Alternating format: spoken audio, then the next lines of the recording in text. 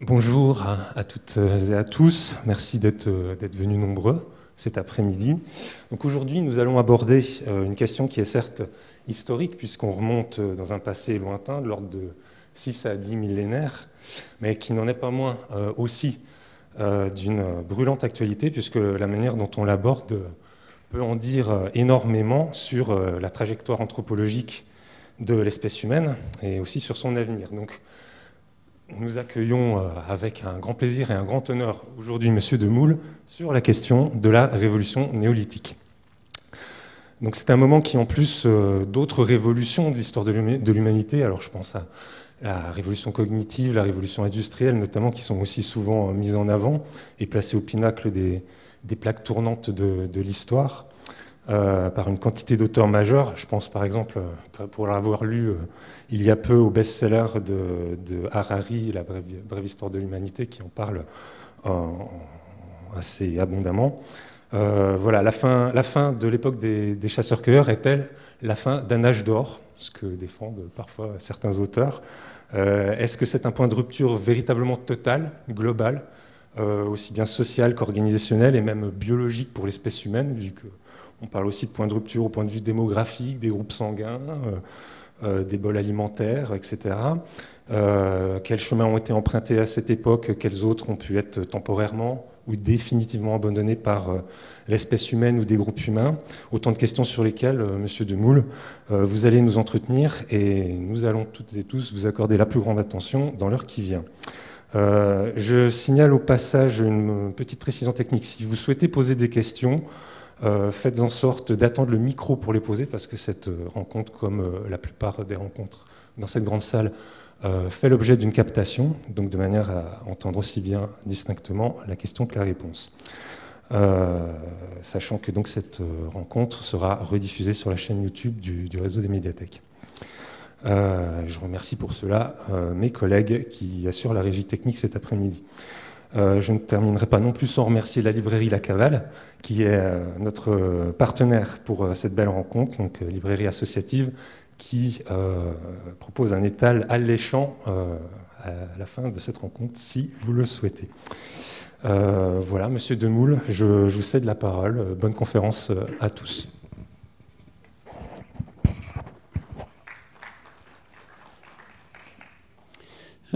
Merci beaucoup. Donc, dans le, dans la perspective de, ce cycle et de ce qui a pu euh, constituer un point de rupture, on va voir aujourd'hui euh, ce qui a tout changé il y a, il y a 10 000 ans dans notre histoire. Si ça n'avait pas eu lieu, on serait euh, toujours en petit groupe de chasseurs-cueilleurs dans une forêt, certes ici de type méditerranéen, mais ni dans des villages et encore moins dans ce type d'installation. Euh, donc, euh, il y a 65 millions d'années, euh, voilà notre ancêtre, un des premiers primates. Donc nous sommes une espèce de primate parmi euh, 200 à peu près d'autres. Et l'une des questions est pourquoi cette espèce-là de primate l'a-t-elle emporté non seulement sur tous les autres primates, mais sur toutes les espèces biologiques au point de déclencher la sixième extinction massive des espèces? Donc si on descend euh, le temps, euh, il y a 3-4 millions d'années, les australopithèques, voilà euh, à quoi ressemblaient nos ancêtres. Vous savez, c'est la célèbre Lucie, la popularisée par Yves Coppens. Et donc Homo sapiens, vous et moi, émerge progressivement en Afrique il y, a, il y a à peu près 300 000 ans, va continuer néanmoins à, évoluer, ce qui fait que euh, nous l'avons emporté sur euh, les autres, c'est euh, aussi ce qu'on appelle la sélection naturelle, c'est-à-dire qu'à chaque reproduction, il y a des gènes qui sont positifs et d'autres qui sont négatifs, comme les maladies génétiques, d'autres qui ne changent rien. Et le fait d'avoir un à chaque fois, un plus gros cerveau fait qu'on euh, est plus complexe. Ça n'a pas que des avantages parce que ça crée aussi notre part euh, obscure, euh, mais ça permet de mieux s'adapter à la, à, la, survie sur cette planète. Donc là, c'est Homo sapiens apparaît donc, comme je vous l'ai dit, 300, il y a 300 000 ans. Certains groupes d'Homo sapiens commencent à quitter l'Afrique il y a à peu près 100 000 ans et certains arrivent jusque sur l'actuel territoire français il y a à peu près 40 000 ans. Donc il y a 15 000 ans, civilisation qu'on appelle magdaléniens, ceux qui ont peint les grottes de Lascaux, eh bien ils vivaient euh, dans des campements. les hommes préhistoriques n'ont jamais vécu dans des grottes, euh, mais c'est là qu'on a retrouvé les peintures. Mais en général, ils vivaient, ils vivaient euh, en plein air. Ça ressemble un peu effectivement au tipi des, Amérindiens. on était dans une période froide, depuis moins 115 000 ans à peu près, jusqu'à moins 10-12 000 ans, on était dans la, la dernière glaciation. Il n'est pas L'histoire de la Terre est rythmée de périodes glaciaires et de périodes interglaciaires. C'est le, les oscillations de l'axe de la Terre par rapport au Soleil. Néanmoins, actuellement, il n'est pas certain que nous aurons une nouvelle glaciation dans la mesure où euh, le, réchauffement climatique euh, actuel euh, risque d'empêcher justement cette période, cette période glaciaire. Donc voilà les animaux qu'on aurait rencontrés il y a 15 000 ans sur le territoire de la, France actuelle, dans, ce, dans, un paysage de, steppe. Les glaciers descendaient jusqu'à la, Belgique. Et donc ces humains, qui avaient exactement les mêmes capacités euh, euh, psychomotrices, cognitives euh, que nous aujourd'hui. ils se représentaient, eux-mêmes comme une espèce animale parmi d'autres. Ils se représentaient à travers les animaux, comme, comme, comme vous le savez. et on sait que les chasseurs-cueilleurs souvent pratiquent ce qu'on appelle le totémisme, c'est-à-dire qu'ils descendent, chaque groupe descend d'un ancêtre mythique qui est très souvent un, un, animal. Et ils se vivent comme immergés dans la nature, une espèce comme une autre et pas forcément euh, la plus dangereuse et la, et la mieux armée. Et les seules représentations humaines qu'on trouve, c'est essentiellement des, représentations féminines et avec des traits sexuels euh, très exagérés. Alors on a parlé de fécondité, fertilité. Euh, on peut penser aussi que c'est la sexualité qui est en cause parce que les humains et les humaines sont les seuls primates où la sexualité n'est pas interrompue euh, régulièrement. Chez les, chez les autres primates, les femelles ne sont pas réceptives une bonne partie de l'année. Chez les, chez les humains, on peut faire l'amour euh, tout le temps, mais ça crée effectivement euh, des tensions euh, sociales permanentes. Tous les, les grands récits, l'Iliade, l'Odyssée, les aventures de Zeus, l'enlèvement des Sabines au début de Rome en, sont pleins. Et il est probable que c'était autour de ça que sans doute ces statuettes, mais on peut guère en dire plus loin, devaient, devaient servir. Et donc il y a 10-12 000 ans euh, dans ces, tâches-là, euh, ces différentes tâches que vous voyez. Le, oui, le petit point rouge, on ne le voit pas. En tout cas, les, les taches grises, ce sont des endroits où des groupes de chasseurs-cueilleurs, euh, indépendamment sur différents continents, vont commencer, vont entreprendre de domestiquer des animaux et des plantes, c'est-à-dire d'avoir un recul sur la nature de euh, dominer la nature au lieu de se sentir immergé euh, par rapport, euh, par rapport à elle. Voilà, un peu plus compliqué. C'est une carte que vous avez dans le, dans le gros livre rouge là qu'on a fait avec 73 autres collègues il y a 4 ans, une histoire des civilisations, et qui vous montre à chaque fois un peu plus en détail ces foyers d'invention de, l'agriculture et de l'élevage. Et en, bas, vous avez, euh, les, vous avez une échelle, euh, là, les, le temps ici, de, de, moins 9000 à moins 1000, et au-dessus, la date de domestication des différentes plantes principales et la date de domestication des principaux euh, animaux. Alors, pour vous montrer que c'est en même temps très peu cette période, 10 000 ans depuis qu'on a inventé l'agriculture et l'élevage, c'est 4% seulement de la durée euh, de temps d'Homo sapiens. Et si on projetait depuis qu'on parle d'espèces d'Homo il, y a, il, y a, 2 millions d'années, avant les Homo sapiens, il y avait les, Homo erectus, sans rentrer dans, le détail, eh bien, en fait, l'arrivée en France d'Homo sapiens, ce serait le 24 décembre, si on projetait sur une année ces 2 millions d'années d'existence des Homos, et c'est seulement le 29 décembre qu'apparaîtrait l'agriculture euh, ou l'élevage. Si on prend la largeur de cette, de, cette pièce euh, pour toute l'humanité depuis qu'elle existe depuis 7 millions d'années, ben, ça serait le dernier centimètre de la largeur de cette pièce, euh, qui serait l'invention de l'agriculture et de l'élevage. Alors pourquoi ce moment-là et pas avant? Parce qu'effectivement, on va rentrer dans une période dite interglaciaire, beaucoup plus favorable du point de vue euh, climatique, environnemental, et aussi parce que même si euh, Sapiens émerge il y a 300 000 ans, il continue, son cerveau continue à se complexifier. Euh, c'est pour ça que Enfin, un des symptômes, c'est que seulement il y a 40 000 ans qui commencent à représenter dans différents endroits du monde des animaux, euh, des personnages, euh, etc. Ce qu'on appelle, faute de mieux, euh, l'art. Et donc, ça lui permet de se sédentariser, parce qu'il y a certes des populations qui sont nomades, encore même de nos jours, mais c'est lié en général à, l'environnement. C'est pas, c'est pas toujours un choix. Euh, sauf euh, des cas très particuliers. Et donc, c'est l'ensemble de ces facteurs qui fait que ça apparaît euh, à ce moment-là et pas pendant l'interglaciaire précédent qui avait eu lieu entre moins 130 000 et, moins 115 000 ans. Alors, où est-ce que ça apparaît, là, les taches grises que, que, nous venons de voir?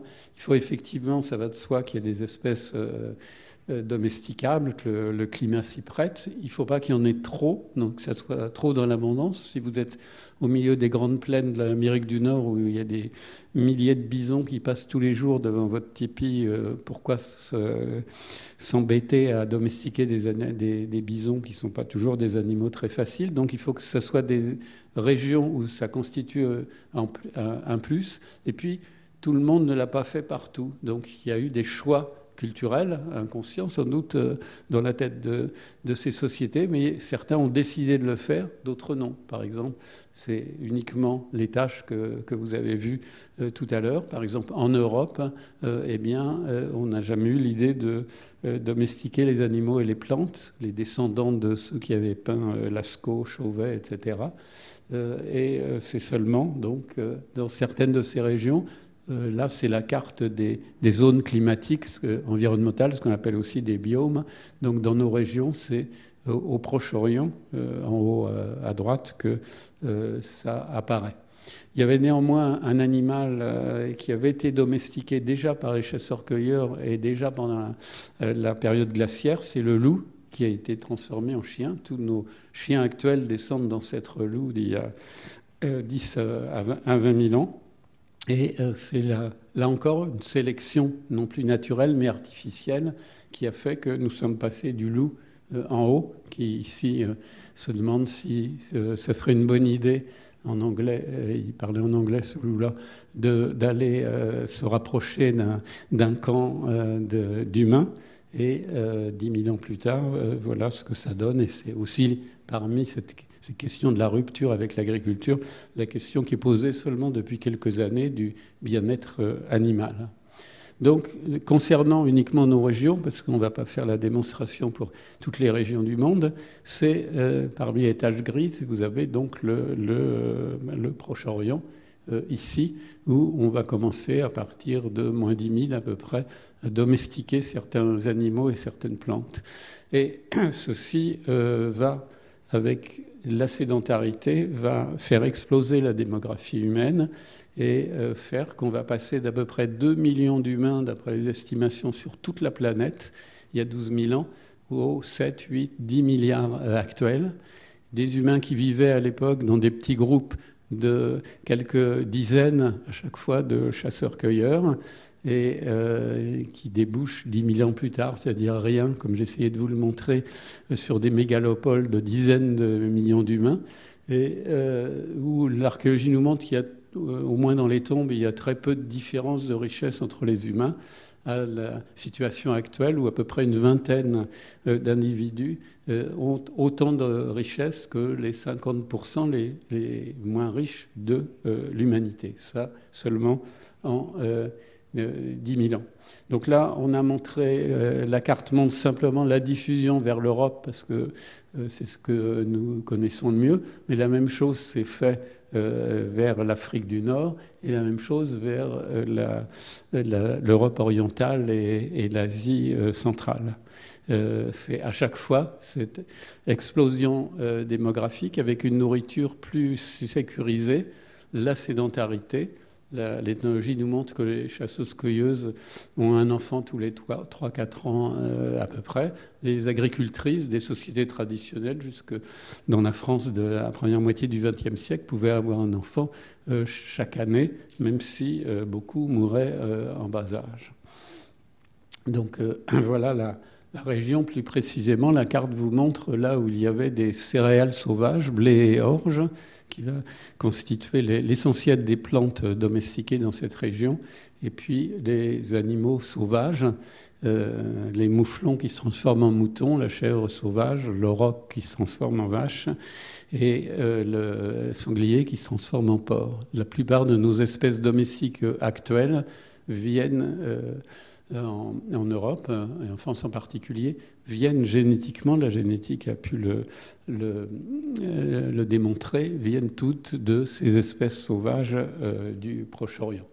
Donc c'est à l'époque ces chasseurs-cueilleurs, leur culture matérielle, leurs objets sont, sont très euh, euh, basiques. Vous voyez, des, euh, harpons pour pêcher euh, les, poissons, des, morceaux de silex pour couper les céréales, des, petites cabanes circulaires, et toujours un intérêt autour de la sexualité, comme ce, galet qui a été retaillé pour figurer un, couple enlacé.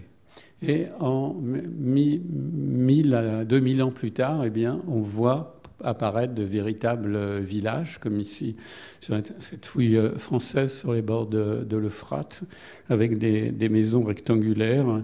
Euh, pour la plupart, euh, rectangulaires, euh, parce que c'est plus facile d'agrandir au, fur et à mesure de l'agrandissement de la famille une forme quadrangulaire qu'une forme circulaire. Néanmoins, sans entrer dans le détail, les, souvent tout ce qui est lié au cérémoniel, à la religion, etc., va conserver les formes circulaires euh, des cabanes euh, d'origine. Donc, euh, partie du Proche-Orient, on va ensuite franchir la mer Égée euh, ce qui pose pas de problème particulier, d'autant plus que euh, quand, dans une période glaciaire, une partie des eaux du globe est retenue dans les, dans les glaces. Donc le niveau de la mer, euh, il y a 12 000 ans, était 150 mètres plus bas qu'actuellement. Donc dans la mer Égée, il y avait beaucoup plus d'îles et ça posait aucun problème d'aller d'île en île, de même qu'on pouvait également passer par le par, le, par le nord. Euh, donc ils sont arrivés en Europe euh, sans s'en apercevoir, d'autant plus que l'Europe est un peu une invention des, des Européens. La, limite qui est les, les monts de l'Oural et le fleuve Oural est quand même très fictive. Tous les autres continents sont très facilement délimités par des mers et l'Europe c'est en fait une péninsule de, de l'Asie. Donc euh, ces déplacements euh, euh, se sont faits à la fois par mer, le long des, le long, le long des côtes. Là, vous avez eu deux courants de, de ce qu'on appelle la néolithisation, l'invention de l'agriculteur, on appelle ça le néolithique. Donc une partie se, ont suivi les côtes et donc arrivent sur nos côtes vers moins 6000 à peu près, ici. Et puis l'autre partie euh, remplissant toute la péninsule balkanique, va ensuite euh, se répandre dans toute l'Europe tempérée et arriver euh, en France, dans le, nord de la France actuelle, aux alentours de 5200. Et après, ces deux courants qui venaient du même origine, donc qui sont cousins, vont se mélanger aux alentours de 4500 avant notre ère. Donc le, courant le long de la mer et utilise notamment des pirogues. On en a taillé dans des troncs d'arbres, on en a retrouvé, ça c'est évidemment une copie. Et le courant dans le nord est mieux connu parce que a beaucoup de grandes fouilles de sauvetage, enfin de fouilles préventives, notamment à l'occasion des carrières de, sable dans le fond des vallées. Donc on retrouve les, les fondations de ces maisons. ça se présente comme vous voyez en haut à gauche, les, poteaux, euh, les, ronds noirs sont les poteaux, les traces des, poteaux des maisons et, les tranchées de fondation. Donc voilà comment on peut la reconstituer. Voilà une des reconstitutions. Il y en a plusieurs en France et, dans d'autres régions d'Europe euh, qui, ont, été faites de, ces maisons. Et plus concrètement, quand on est dans la, moitié nord de la France, ben, si on retire la terre arable, avec un, godet euh, lisse, avec des grandes euh, dents, euh, on voit apparaître donc là, les tranchées de fondation de ces maisons et la trace des poteaux qui soutenaient les murs. Vous voyez, c'est une forme d'archéologie qui est moins exaltante que, de trouver la, tombe de Toutankhamon, mais en même temps qui euh, nous renseigne sur ces, tout débuts de l'agriculture. Vous voyez au fond d'ailleurs euh, la, maison qui a été reconstituée que vous avez vue sur la, photo euh, précédente.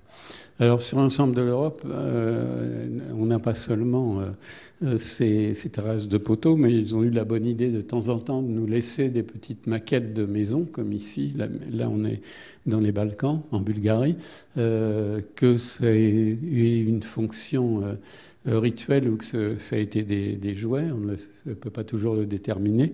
Et vous voyez une sorte de maison de poupée trouvée en Grèce. Euh, donc, euh, qui fait à peu près euh, une trentaine de centimètres. Donc là, vous avez la maison, le, four en haut, et puis vous avez trois couples de grands, de moyens et de petits. Donc ça ça nous, peut nous renseigner, au moins dans ce cas-là, sur la structure de la famille, de type plutôt monogame, et pas polygame, comme c'est le cas de, de nombreuses sociétés euh, humaines, euh, et avec les trois générations sous un même, euh, sous un même foyer. Avec l'agriculture, donc avec le néolithique, apparaît aussi la, la poterie, qui normalement est permise justement par le fait d'être sédentaire, dans la mesure où c'est des objets relativement, relativement fragiles. Alors je parle de néolithique, euh, c'est au XIXe siècle qu'on va distinguer ce qu'on appelle le paléolithique ou âge de la pierre ancienne. Paléo, c'est ancienne, lithos, c'est pierre. Donc c'est toute l'époque où les humains sont des chasseurs-cueilleurs. Et néolithique, néo, nouveau en grec. Lithos, l'âge de la pierre nouvelle, et qui est en même temps celui de l'agriculture et, de euh, l'élevage. Euh, on parlait aussi d'âge de la pierre polie pour le néolithique, parce qu'effectivement, euh, une des fonctions, ça va être de déboiser massivement à la fois pour pouvoir cultiver, puisque euh, une fois que le climat se réchauffe, toutes les zones favorables se couvrent de forêts. Donc ici, c'était couvert de forêts de type méditerranéen, dans le nord de la France, de type euh, tempéré, chêne, tilleul, etc. Donc il faut déboiser pour pouvoir semer euh, les céréales, il faut déboiser pour couper du bois pour construire les maisons et pour se chauffer euh, dans les, régions euh, moins, moins chaudes. Donc c'est les premières atteintes euh, à la nature qui vont commencer avec cet objet. Donc quand on parle de l'âge de la pierre polie, même si c'est un terme désuet, c'est pas non plus faux parce que c'est là que va commencer l'attaque sur le monde naturel. Donc ces, ces, haches étaient emmanchées de cette manière-là, dans un manche en bois, et il faut à peu près un quart d'heure pour couper un tronc d'arbre de, 15 cm euh, de diamètre. Euh, on va également faucher les, céréales, donc en utilisant un manche en bois ou en bois de serre, dans lequel on va insérer des petites lamelles de silex. que quand on regarde au microscope, on voit très bien la partie qui a servi à, à couper. Donc voilà des, des fossiles euh, réels tels qu'on a pu les, retrouver, euh, là encore, dans les, dans les Balkans. Et puis un autre objet euh, indispensable, la meule pour broyer le grain, faire de la farine, ce qui fait que on va passer d'une nourriture essentiellement solide, euh, qui est la, viande des, chasseurs-cueilleurs, à ces, ces, formes de pain, de bouillie, de galettes, etc., qui est beaucoup plus sucré, beaucoup plus mou. Et ça, c'est une transformation radicale dans notre alimentation qui fait que c'est notamment le moment où on va voir euh, à exploser les caries dentaires hein, qui n'existaient pas jusque-là. Et puis progressivement, ces nourritures vont, faire que sur euh, les 7 milliards euh, d'humains actuels, il y a un milliard qui ne mange pas à sa faim, mais il y a aussi 2 milliards et de plus en plus qui est en surpoids. Euh, dans la continuation du paléolithique, de ce qu'on a vu tout au début, on continue à faire des figurines essentiellement féminines, et c'est seulement un peu plus tard que, comme on va le voir, les choses vont, changer. Différents exemples de, figurines euh, telles qu'on a pu le trouver dans, les Balkans. Il y, a, tout un art plastique au néolithique de l'Europe du Sud-Est extrêmement riche, et plus les, populations vont aller vers l'Ouest, euh, plus ça va s'appauvrir. Moins on trouve de, ces, productions euh, esthétiques pour une raison qu'on ignore. Enfin, il y a un front pionnier qui tend à s'appauvrir du point de vue de, ces productions. Il a le fait qu'on trouve euh, essentiellement des figurines féminines fait qu'on s'est posé le problème dès le 19e siècle, se demander si ce n'était pas euh, euh, jadis des sociétés dites matriarcales, c'est-à-dire où les femmes auraient eu le pouvoir euh, à la différence des hommes. Donc vous avez toute une littérature pour celles et ceux qui s'intéressent, comme les, travaux de l'archéologue américaine Maria Gimbutas à gauche, ou l'historienne allemande Heide Göttner Abendroth, qui est paru il y a deux ans, Les sociétés matriarcales. Là, vous avez un best-seller euh, avec euh, un documentaire qui est passé à la télévision, que vous avez dû sans doute voir, euh, Lady Sapiens, et qui se fonde sur cette idée, justement, que les, au contraire de toutes les sociétés humaines connues, on connaît à peu près 10 000 sociétés humaines, formes de sociétés humaines de taille variable. Dans toutes ces sociétés, c'est les hommes qui dominent politiquement, euh, même si l'oppression des femmes est, variable. Euh, et euh, si toujours la question vous intéresse, l'anthropologue Alain Testard justement a écrit un livre pour démonter un peu cette croyance que euh, au début les sociétés auraient été euh, matriarcales. Ce n'est pas parce qu'on représente des femmes, euh, comme vous l'avez vu tout à l'heure, que ça veut dire qu'elles ont le pouvoir. On peut les représenter aussi bien comme très souvent, si on regarde les affiches ou les, ou les, ou les revues, que plutôt comme des, des objets sexuels ou sexualisés ou à, à, consommer ou à faire consommer, que réellement montrer qu'elles ont le pouvoir sur sur nos statuts des places publiques, 96% euh, sont des statuts euh, masculines. Et en fait, quand on regarde un certain nombre de mythologies, euh, notamment traditionnelles, comme en, Amazonie, en Nouvelle-Guinée, ben, très souvent il y a l'idée qu'avant les femmes avaient le pouvoir, mais qu'elles s'en sont si mal servies que les hommes, à leur corps défendant, ont été obligés de leur reprendre.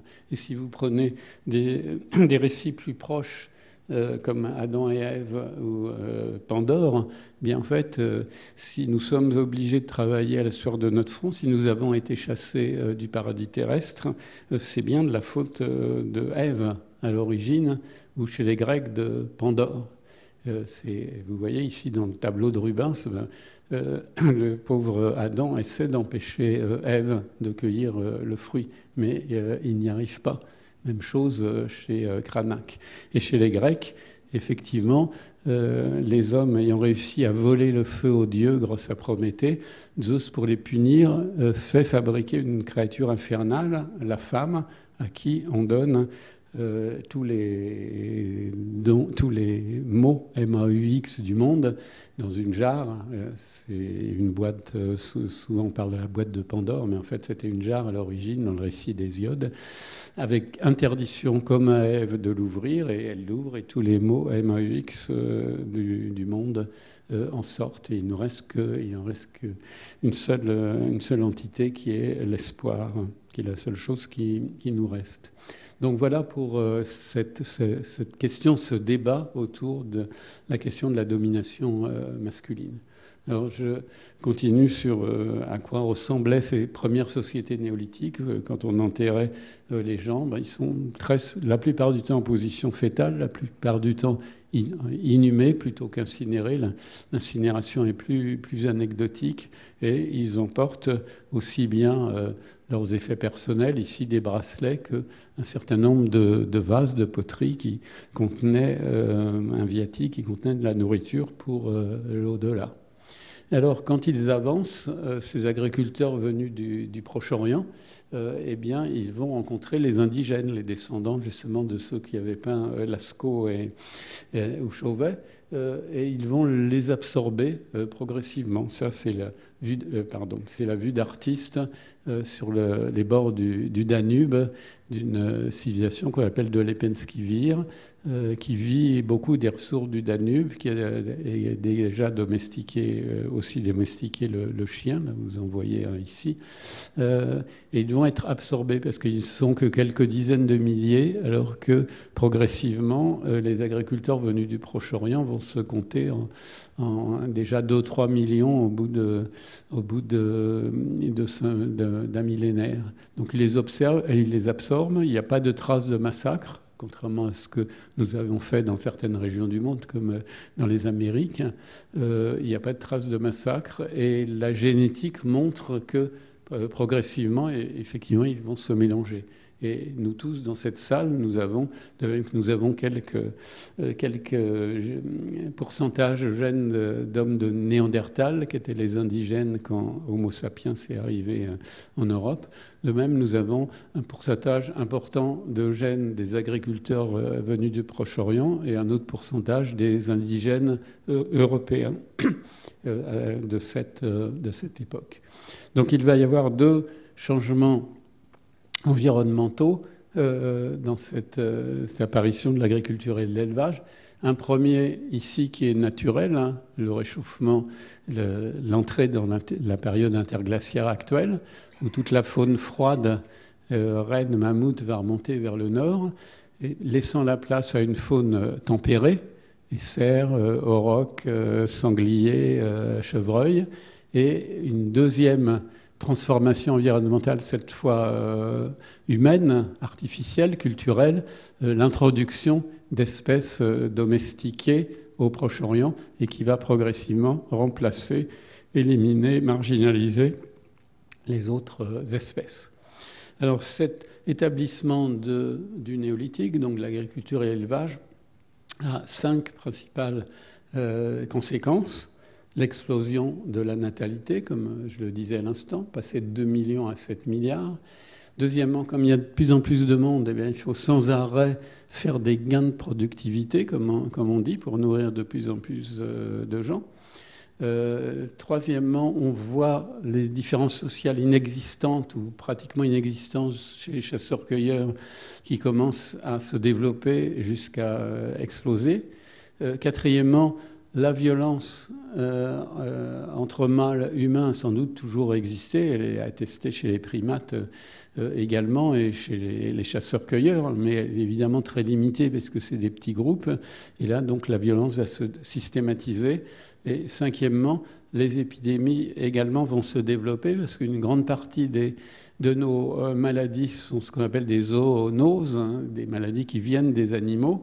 Or, euh, tant qu'on est chasseur-cueilleur euh, itinérant, euh, les rencontres sont rares et même s'il y a une, épidémie, elle ne concerne que quelques dizaines de personnes. En revanche, quand on va se sédentariser et d'une certaine manière se confiner à l'intérieur de maisons avec des animaux, et à l'intérieur de villages d'où on ne sort que pour cultiver euh, ou faire paître les animaux, euh, eh bien là, euh, effectivement, les maladies vont être favorisées aussi bien par les animaux domestiques que par les animaux dits comme manceaux, ceux qui s'invitent sans qu'on les invite, comme les rats par exemple, qui vont transmettre par leur puce la peste, etc., etc.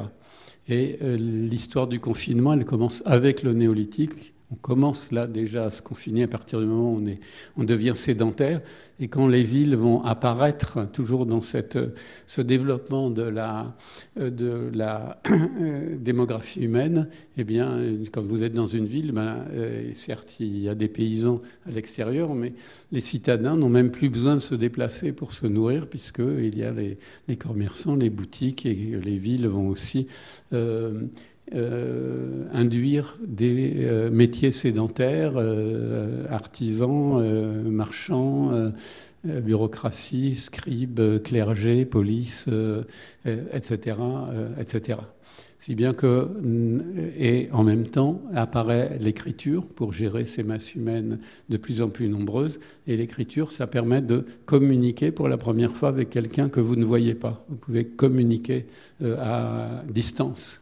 Donc tout ce que nous avons vécu euh, dans les deux dernières années, en fait, est en germe dans le néolithique et se situe dans le prolongement euh, euh, de, ces évolutions. Donc là, pour rendre plus concret cette, question de la démographie, en bas le temps, de moins 65 000 à, aujourd'hui, et puis ici, donc, la courbe de la démographie humaine en rouge.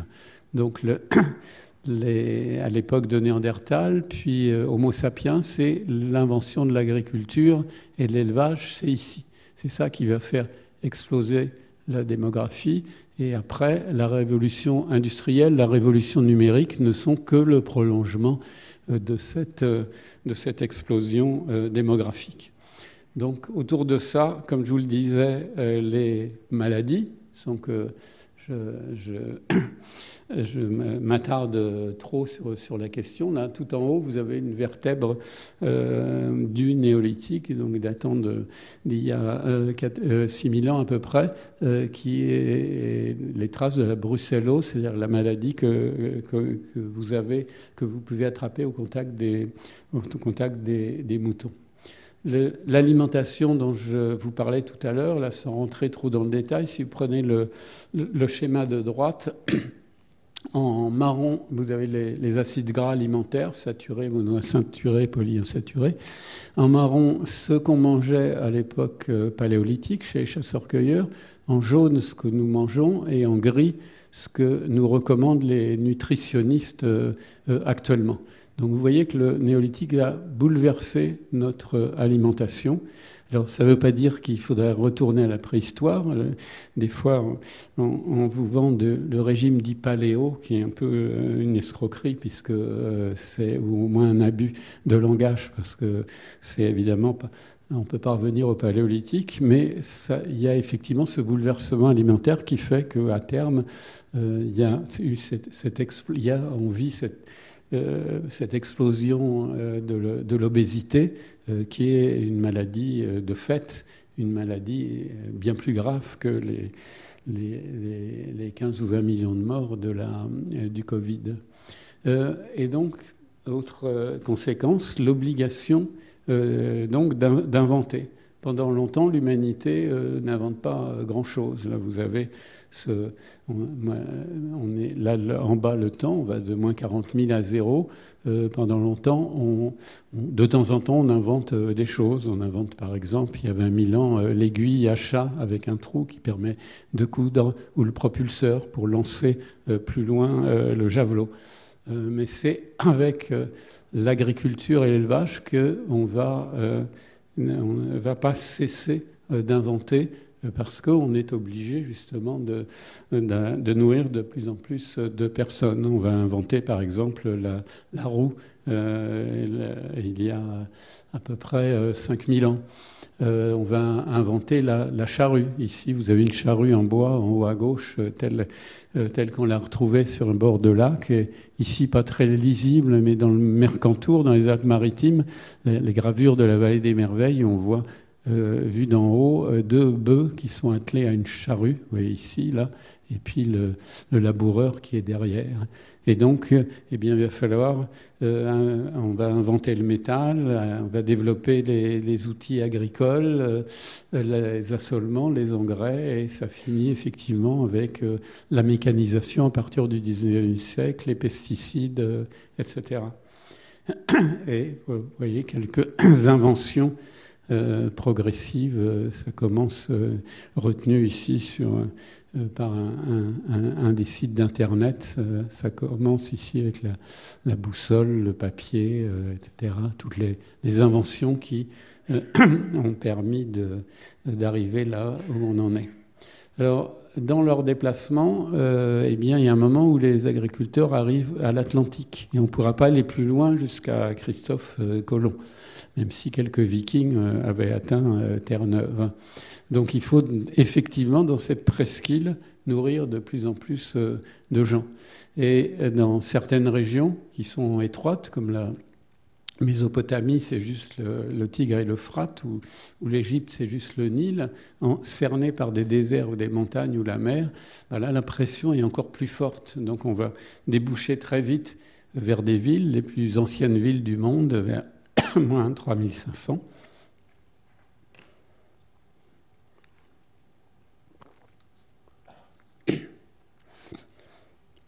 Et on va, comme je vous l'ai dit tout à l'heure, inventer l'écriture qui permet de communiquer à distance. Des, signes abstraits, il y en a déjà sur les grottes il y a, il y a, il y a 40 000 ans, mais les organiser en, écriture, dans une société simple, on se transmet oralement, on peut se transmettre des généalogies, des, hymnes religieux, des épopées, mais euh, si on veut gérer la société, voir qui a payé ses impôts, qu'est-ce qu'il y a dans les magasins euh, royaux, euh, à, qui, appartient tel morceau de terre, là vous avez besoin de l'écriture. Et à partir de là, vous pouvez effectivement communiquer à distance. Et comme il y a de plus en plus d'humains et de plus en plus de besoins de communiquer, eh bien, le papier, l'imprimerie, le télégraphe euh, et euh, l'informatique et à la fin le, télétravail. Donc la même chose pour euh, l'Égypte. Donc, comme je vous le disais, on arrive au bout, on ne peut pas aller plus loin, et c'est à ce moment-là, vers 4500 avant notre ère, qu'on voit les premiers signes de différence sociale forte. Là, cet individu euh, trouvé sur les bords de la mer Noire en Bulgarie. Euh, il y a à peu près 300 tombes, certaines euh, où il n'y a rien, ou une, épingle en os, ou deux vases. Et celui-là, il a à peu près un kilo d'objets en or, et c'est d'ailleurs les plus anciens objets en or connus sur notre planète. Voilà le même représenté euh, imaginait, tel que nos collègues bulgares le, voyaient, donc un des premiers chefs euh, historiquement, donc avec tous ces objets. Alors pourquoi, pourquoi effectivement la société se différencie? Euh, Dans les sociétés simples, effectivement, il y a quelques dizaines de personnes, donc il y a toujours un, leader, hein, euh, ce qu'on appelle, euh, faute de mieux, un chef, mais il a autant de, il a des responsabilités, il a autant de, devoirs que de droits. Et de toute façon, il n'y a rien à posséder puisque on, chasse et, on cueille. Ça occupe quelques heures par jour et le reste du temps, on n'a pas grand-chose à faire, mais il n'y a, pas de possession matériel et euh, tout seul, un individu ne peut pas euh, aller très loin. À partir du moment où vous avez de plus en plus de monde, effectivement, on va voir se dégager des différences. On va avoir, euh, la société va avoir la possibilité de produire plus que ses besoins. Et l'histoire et l'ethnologie nous montrent que le pouvoir est toujours associé au surnaturel les rois de France, ils sont de droit divin. C'est Dieu qui les a mis en place et ils sont sacrés dans tous les sens euh, du, terme. Les, pharaons, c'est eux qui font revenir les eaux du Nil. Les empereurs du Japon, ils descendent en droite ligne d'Amaterasu, la, la déesse du, soleil. Et même aujourd'hui, euh, si vous avez regardé l'intronisation du président Biden, ben, ça commence par une messe catholique. Ensuite, euh, il est dans la cérémonie, il y a un pasteur qui parle et lui, il va jurer sur la Bible, c'est-à-dire sur un texte euh, sacré. Donc, il engage sa responsabilité vis-à-vis de, vis-à-vis de la, divinité. Donc le, pouvoir se, le pouvoir se donne comme lié au surnaturel. Et c'est euh, quelquefois si, au contraire, eh bien, il y a toutes sortes de catastrophes qui se passent, la, la, l'égalité, la légitimité du pouvoir euh, tombe, et c'est souvent à ce moment-là que se produisent les, les révolutions. Donc à l'est de l'Europe, on a plutôt ces tombes extrêmement riches. À l'ouest, on va construire ce qu'on appelle les, dolmens, c'est-à-dire des chambres funéraires qui, à l'origine, étaient recouvertes d'un tertre de, terre et, de pierre. Ça ressemblait à ça, à ça euh, à l'origine. C'est le même principe que les pyramides deux ou trois mille ans plus tard. Donc une, chambre funéraire où on introduit les gens importants et recouvert d'un terre, d'un tumulus de terre et de pierre qui à la fois signale son importance et le protège aussi euh, des euh, pillages. Et c'est à ce moment-là que les figurations vont commencer à, changer. Par exemple, avec Locke Maria Kerr, la grande dalle du fond de, de la chambre funéraire, a ces espèces de crosses qui sont des, signes de pouvoir, comme on peut le voir là sur cet individu qui vient cette fois de, Hongrie avec euh, cette, cette crosse euh, sur l'épaule. Et c'est là que les figurations féminines vont commencer à, passer à l'arrière-plan. Elles vont toujours exister jusqu'à nos jours, mais elles deviennent très minoritaires. Et ce qu'on va trouver essentiellement, c'est des représentations masculines du, chef euh, en armes, euh, notamment il y en a beaucoup dans le sud de la France, euh, en particulier dans, l'arrière-pays de Montpellier, dans le, Tarn, le Rouergue, etc. Donc le, chef ici, par exemple, avec un arc, euh, un poignard, euh, ici euh, un poignard, des haches, etc. Et pour reprendre tout à l'heure la vallée des merveilles, eh bien, la représentation humaine, c'est des hommes barbus ici qui tiennent des poignards, des représentations d'armes, etc. Donc les, les représentations, jadis, comme vous l'avez vu, on, on représentait essentiellement des animaux, Maintenant, ça va devenir euh, secondaire, et, ou des, femmes, et là, on va représenter au contraire des hommes et des hommes euh, en armes. Et cette tradition bah, elle va se poursuivre indéfiniment jusqu'à nos jours, ce qu'on va retrouver essentiellement représenté sur les places publiques ou dans l'art officiel. Euh, c'est des hommes, et ça peut être très loin d'ici, comme ici en Irak, ou ça peut être très près, comme ici euh, sur les Champs-Élysées euh, à Paris. ce chef d'État est en même temps un militaire, comme, comme vous le savez. Et même nos monuments aux morts, s'ils représentent des guerriers morts, représentent essentiellement des guerriers.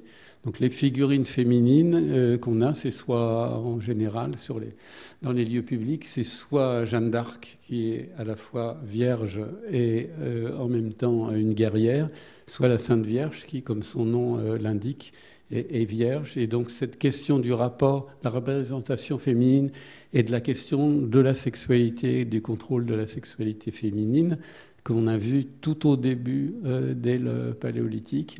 Euh, et c'est l'une, pas, la seule, mais c'est l'une des, préoccupations de la plupart des religions.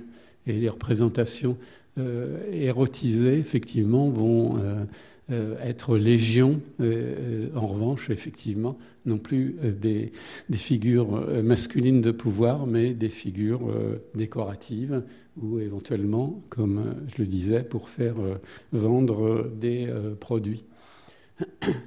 Et c'est donc tout ça, c'est la question de la division sociale progressive, une hiérarchie dans la société, une égalité qui se développe. Euh, c'était l'un des thèmes qu'on a, vu. Et autre thème, comme je vous le disais, le développement euh, de la guerre, euh, l'apparition de fortifications autour des villages, ce qui n'était pas du tout le cas au début. Les villages sont ouverts et non protégés. Euh, ici, un des plus spectaculaires, c'est en Espagne, Los Milares, en Andalousie, où vous voyez toute une série de, de, murs en pierre sèche euh, qui protègent, euh, qui protègent le, lieu, où on va, trouver également des tombes très riches, et c'est lié en particulier à des exploitations de mines de cuivre. Et une des illustrations, certes anecdotiques, c'est cet individu qu'on a retrouvé naturellement momifié dans les années 90 sur un glacier à 3000 mètres de, d'altitude, hein, juste à la frontière entre l'Autriche et l'Italie. à la fois, il est mort d'une flèche dans le dos, euh, qu'on voit euh, à gauche, et il avait un poignard ici qui portait l'ADN de plusieurs euh, personnes. Donc c'est anecdotique, mais c'est un, justement un, corps qui, qui, nous a appris beaucoup, qui, dont les poumons sont déjà encrassés par la, métallurgie, qui nous renseigne sur cette époque. Et souvent, quand on pensait néolithique, on pensait cité lacustre, euh, donc ces maisons, euh, ici une reconstitution dans le Jura, euh, donc des sortes de marinas, de, lieux de vacances idéales au bord des lacs. Et l'archéologie nous montre en fait que c'est beaucoup plus des lieux refuges qui sont également entourés de, palissades, où on est obligé de, de, nouveau de recourir à la chasse et à la cueillette parce qu'on a des zones de, de moyenne montagne où l'agriculture est beaucoup plus difficile. Et avec l'apparition du métal, eh bien, on va pouvoir euh, tuer son, son, semblable de plus loin avec les, épées que vous ne pouviez pas produire euh, avec de l'os ou du silex. Et on va pouvoir inventer aussi les armes euh, défensives, le casse, la cuirasse, et ça va être le début de la course aux armements. Euh, ici, on est dans le nord de, l'Allemagne, vers moins 1200. On a plus ancienne bataille connue archéologiquement en Europe. On connaît des batailles par des récits, évidemment, en Égypte et en Mésopotamie, mais en Europe, c'est la, plus ancienne connue sur les bords de cette rivière, euh, où a plusieurs milliers de combattants se sont euh, affrontés. Il y a donc un peu plus de 3000 ans. Et donc, ensuite, eh bien, on ne va faire que perfectionner les armes pour pouvoir euh, tuer, se tuer euh, de manière de plus en plus euh, efficace, néanmoins sans que ça ralentisse notablement la démographie humaine. Alors c'est pour ça, quelquefois, pour notre période, on, commence à parler d'anthropocène. Les, grandes périodes géologiques récentes finissent en scène.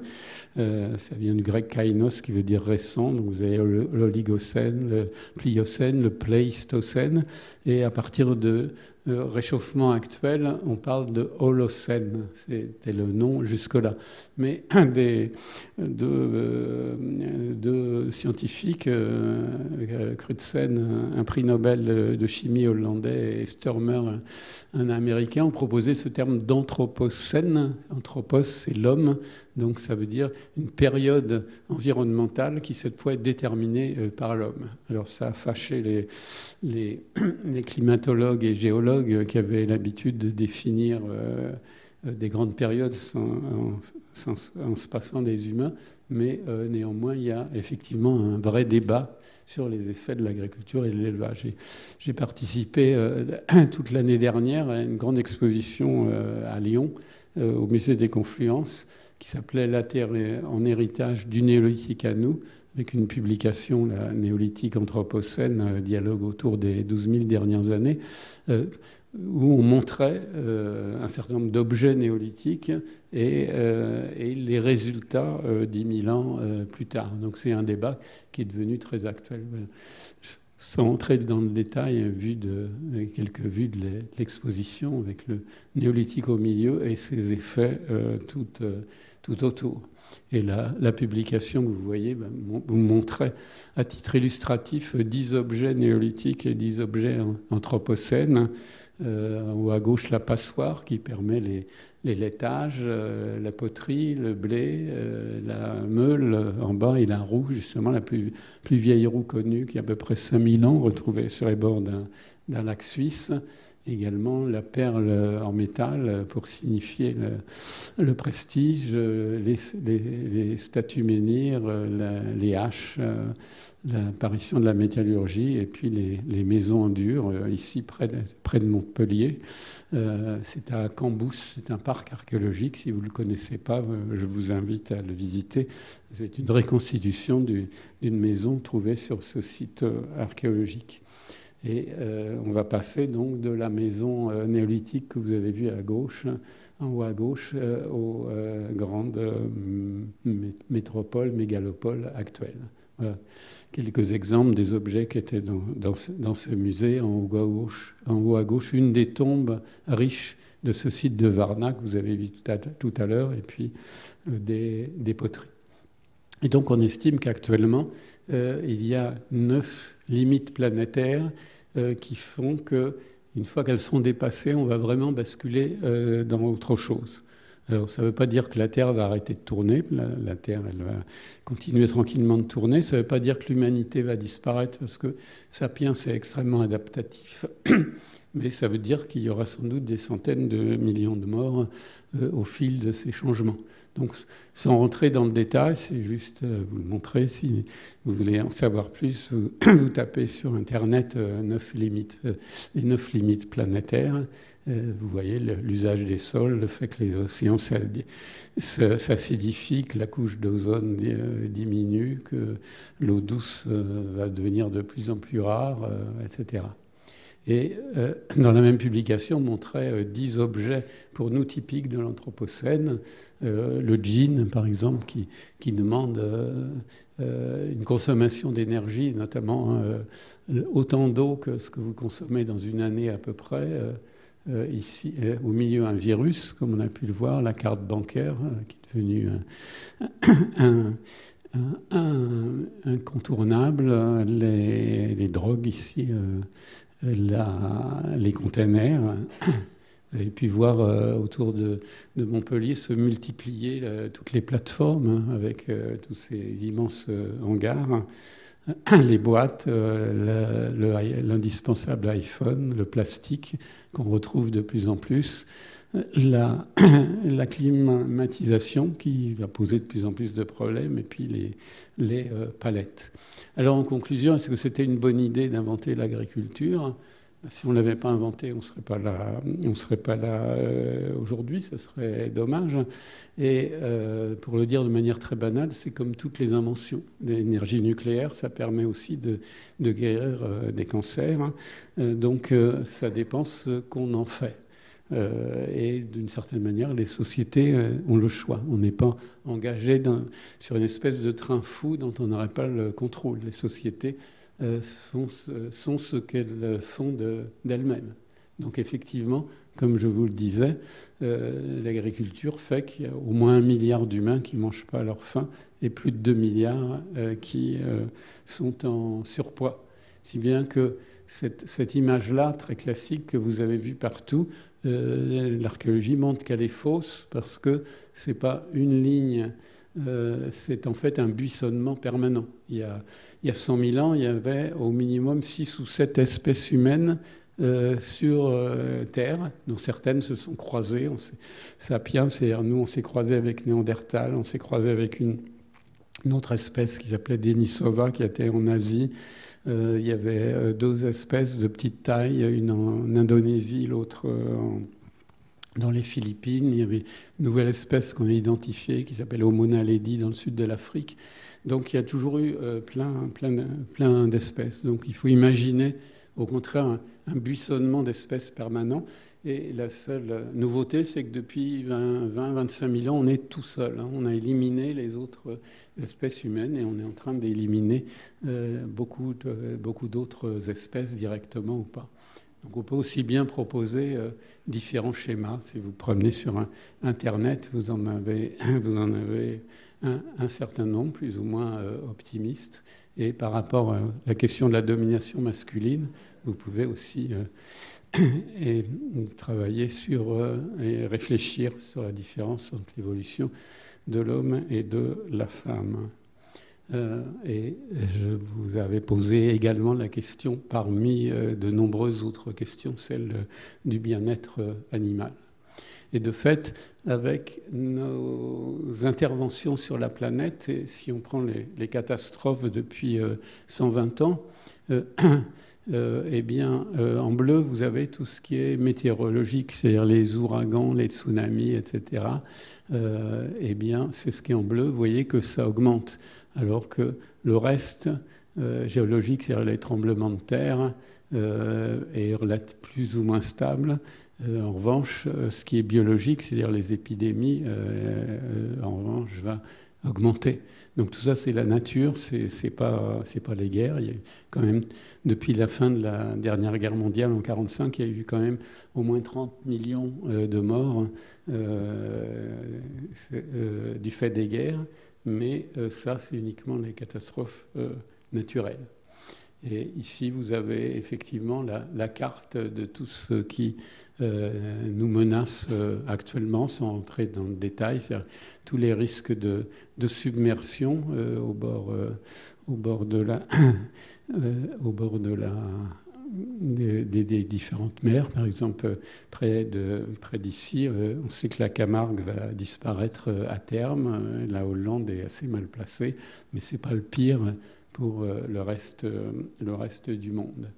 Alors la seule chose vraiment irrémédiable, c'est que dans à peu près 5 millions, 5 milliards d'années, le Soleil s'éteint. Donc là, on n'a pas de solution pour l'instant, sachant que dès 800 millions d'années, le Soleil va d'abord se transformer en ce qu'on appelle une géante rouge, donc il va absorber les autres planètes. Donc si dans 800 millions d'années on est toujours là euh, et qu'on n'a pas réussi à changer de, système, eh bien ce sera la fin de l'humanité si l'humanité arrive jusque-là. Alors, on dit toujours donc c'était mieux avant. Donc là, vous avez euh, certaines citations. Lorsque les pères euh, laissent faire les enfants, euh, tout va mal, je n'ai aucun espoir euh, pour l'avenir de notre pays si la jeunesse prend le commandement, l'immigration, etc., la dénationalisation progressive, etc. Donc les mêmes citations avec leur auteur, donc Hésiode, vous voyez, au 8e siècle, il était déjà très pessimiste, et Platon à peu près autant. Et le géographe euh, Paul Leroy-Beaulieu, il y a 110 ans, il pensait que déjà on allait vers le grand remplacement. Donc vous voyez, ce n'est pas une, nouveauté de, de, nos jours. Donc tout ça pour dire, comme je le disais juste avant, que ce n'est pas l'agriculture qui est la faute de tout, je suis bien content qu'on puisse euh, utiliser tous ces nouveaux moyens de communication qui sont la conséquence à long terme du néolithique, euh, mais euh, ça dépend ce qu'on en fait.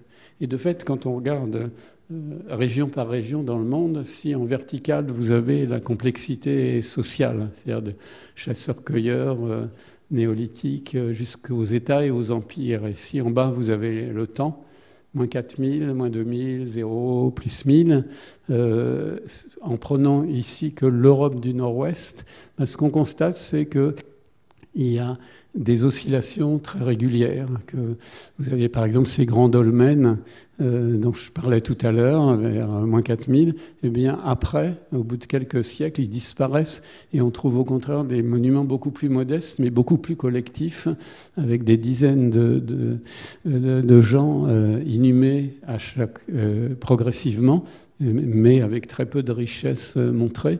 Et puis ça continue comme ça. vous voyez que même après l'Empire romain, euh, eh bien, le, degré de, hiérarchisation va baisser, etc., etc. Donc ça veut dire que régulièrement, il y a eu des, euh, des contrebalancements, des oppositions à des sociétés trop hiérarchisées. Et là, vous avez tout un groupe de, penseurs, euh, certains euh, assez à la mode euh, d'ailleurs, hein, qui sont appelés ou qu'on appelle les anthropologues anarchistes. Ça ne veut pas dire qu'ils vivent dans des ZAD, mais ça veut dire qu'ils s'intéressent au, contre-pouvoir. arché, archiste, c'est le pouvoir en en grec, et an, c'est la négation. Donc c'est ceux qui s'intéressent au contre-pouvoir, euh, qui montrent que par exemple ben, chez les, dans, les petits groupes de chasseurs-cueilleurs, ben, le chef ne peut pas euh, faire tout ce qu'il veut et que sur des sociétés plus nombreuses, ben, régulièrement, euh, vous avez des, révolutions. Donc, sans rentrer dans le détail, je vous signale leur existence. Pardon. David Graeber, ici, qui vient de, publier un, best-seller que vous avez sans doute vu passer, qui s'appelle Au commencement était une nouvelle histoire de l'humanité. Marshall Salins, qui est, mort récemment, qui a développé l'idée que finalement les chasseurs-cueilleurs, c'était la seule vraie société d'abondance parce qu'ils ne travaillaient que quelques heures par jour pour se nourrir le reste du temps euh, et ils pouvaient profiter de l'existence alors que nous, on travaille euh, tout le temps, même moi encore euh, cet après-midi.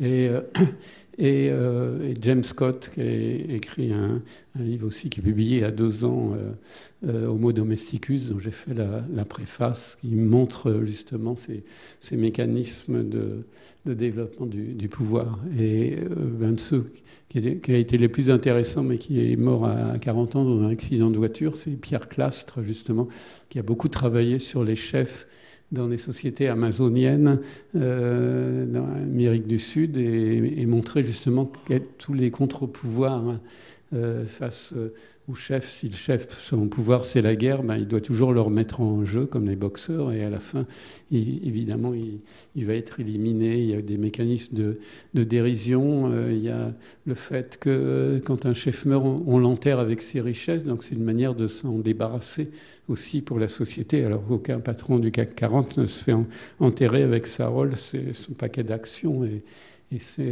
lingots. Donc voilà le, le, best-seller actuellement que vous avez, qui tout n'est pas à prendre. Euh, enfin, j'ai des réserves par rapport à ce livre, mais c'est intéressant parce que justement, il montre que euh, tous ces mécanismes dans les sociétés. Et donc régulièrement, vous allez avoir des, euh, l'histoire nous montre, l'archéologie, comme je vous l'ai montré tout à l'heure sur ce schéma, mais l'histoire nous montre que quand un pouvoir devient trop oppressif, eh il y a un moment où effectivement ça va euh, craquer, comme le montre ici euh, Delacroix. Donc si vous voulez réviser, je vous conseille ces excellents livres que vous pouvez vous procurer grâce à la librairie. Euh, le, premier collectif, Une histoire des civilisations, comme je vous l'ai dit, on était 74 pour le faire, donc on couvre toute l'histoire du monde euh, des origines à nos jours. Et puis les, trois autres euh, sont écrits que par moi-même. et le jaune sur le néolithique, le, celui du milieu sur la préhistoire en général, et celui de droite à la, euh, qui vient de sortir sur l'histoire des migrations. Et ça commence, comme vous l'avez vu, notamment d'abord avec des humains qui se répandent sur la Terre et ensuite avec les effets de l'agriculture et, de la démographie. Donc voilà, je vous remercie de votre attention.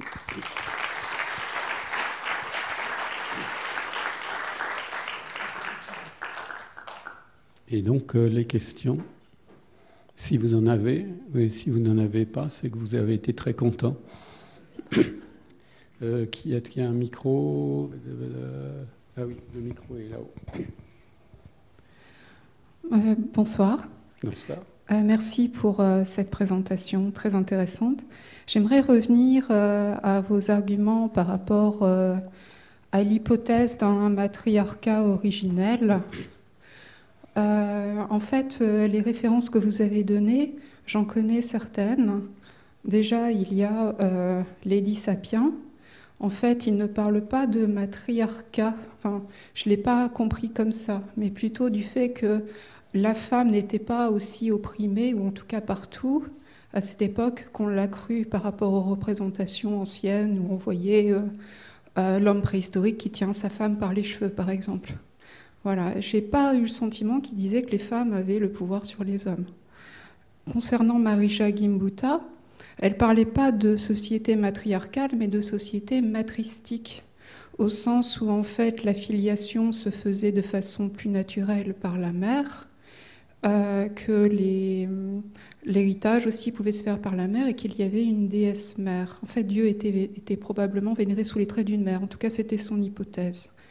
Alors je ne sais pas si elle a raison, mais c'est vrai que les sculptures, euh, les, euh, les, artefacts qu'elle montre, enfin les différentes euh, pièces qu'elle montre, qui sont des figures féminines pas nécessairement sexualisées.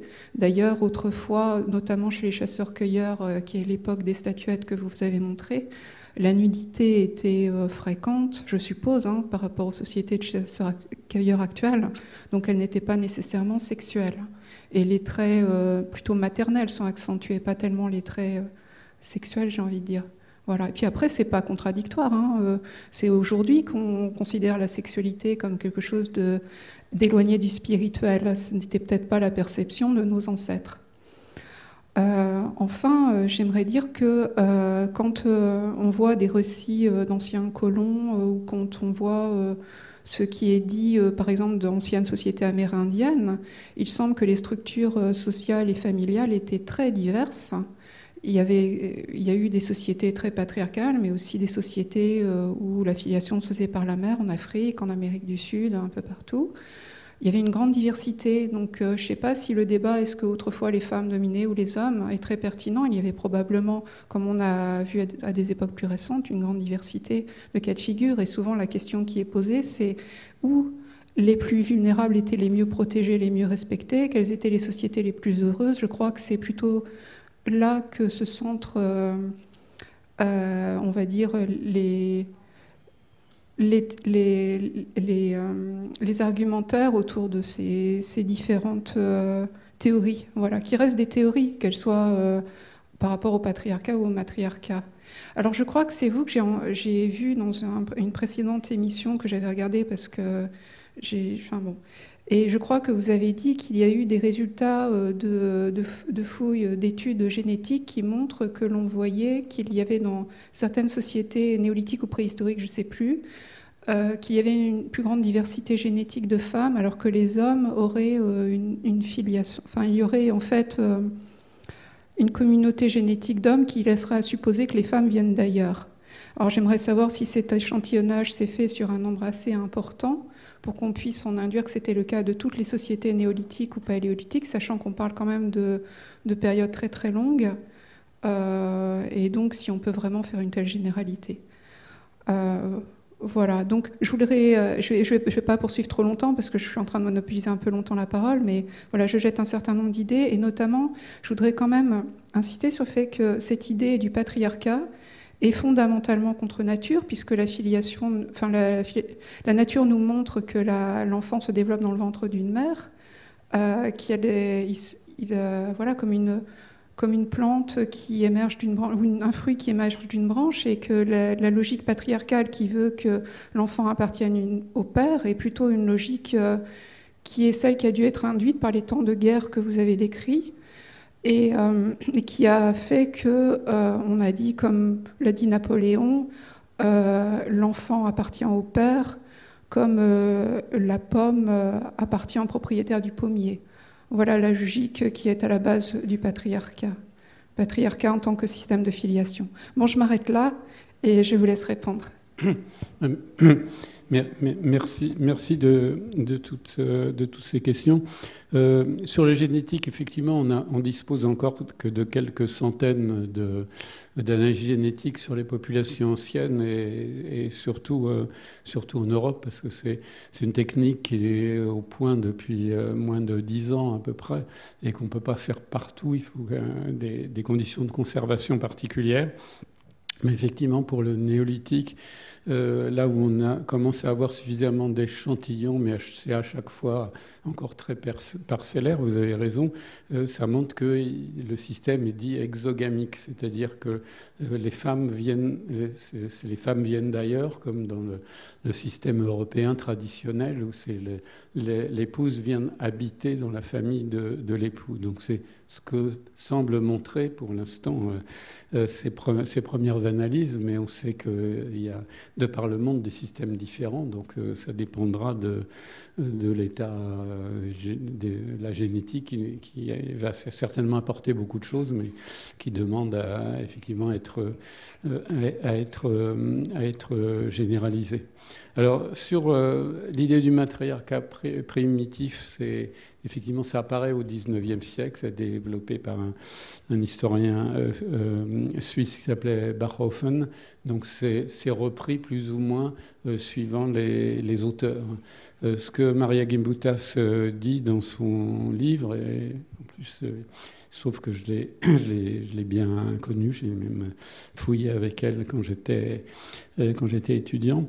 Euh, elle ne dit pas que c'est des sociétés euh, matriarcales où les femmes auraient le pouvoir uniquement, mais elle distingue deux régions en Europe, ce qu'elle appelle la vieille Europe, Old Europe, qui serait une société euh, matrilinéaire et pacifique, euh, où c'est les femmes qui euh, ont font l'art, euh, qui, créent les formes artistiques.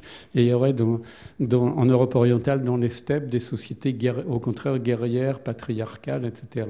Et ces dernières l'auraient emporté sur, les autres. Alors sur matrilinéaire, je fais juste une, parenthèse, ce qu'on appelle matrilinéaire, c'est quand la filiation, voire les biens, se transmettent par, les, par les femmes.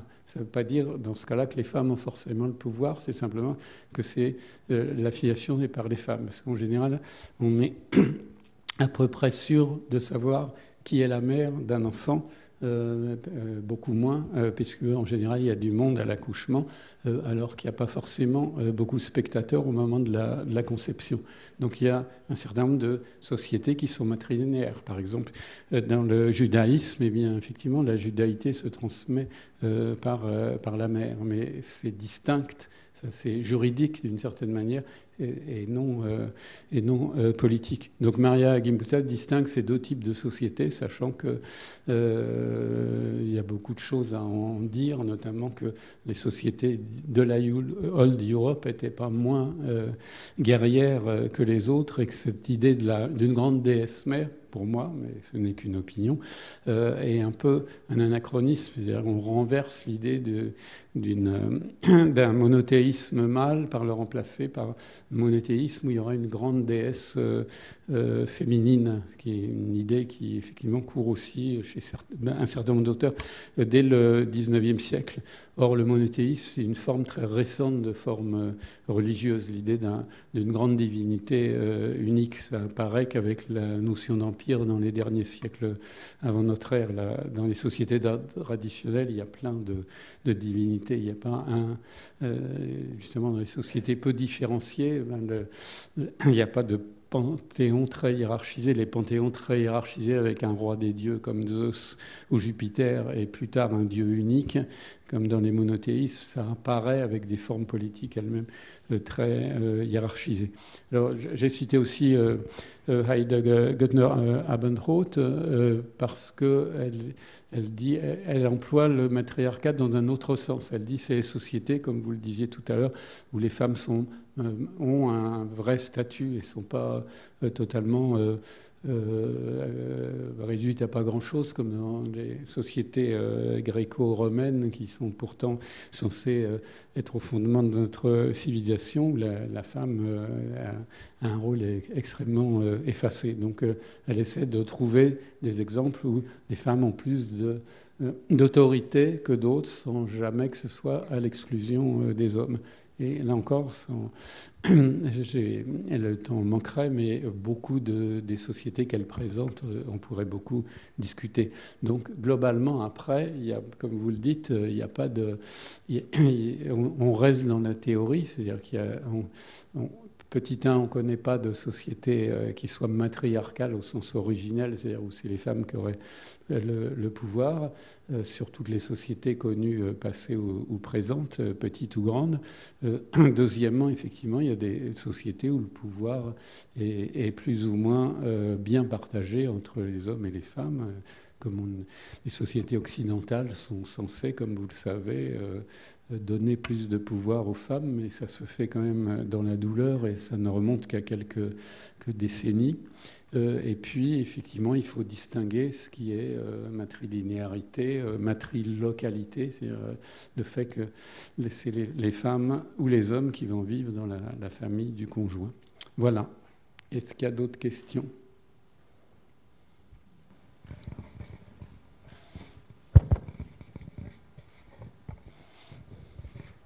Bonjour. À propos de l'agriculture, hmm. est-ce qu'on sait, ou on, peut savoir, à qui appartenaient les terres qui ont été cultivées? Est-ce que le, mode agricole était un mode communautaire, une tribu, un, village, ou euh, ça a été tout de suite le développement de la propriété privée? si euh, c'est possible de le savoir. On peut, on peut évidemment pas, pas, le savoir, mais ce qu'on sait, c'est que dans beaucoup de sociétés traditionnelles, il n'y a pas de propriété privée définitive. Par exemple, le, village russe traditionnel, qu'on appelait le Mir, eh bien, euh, les, terres étaient régulièrement redistribuées au,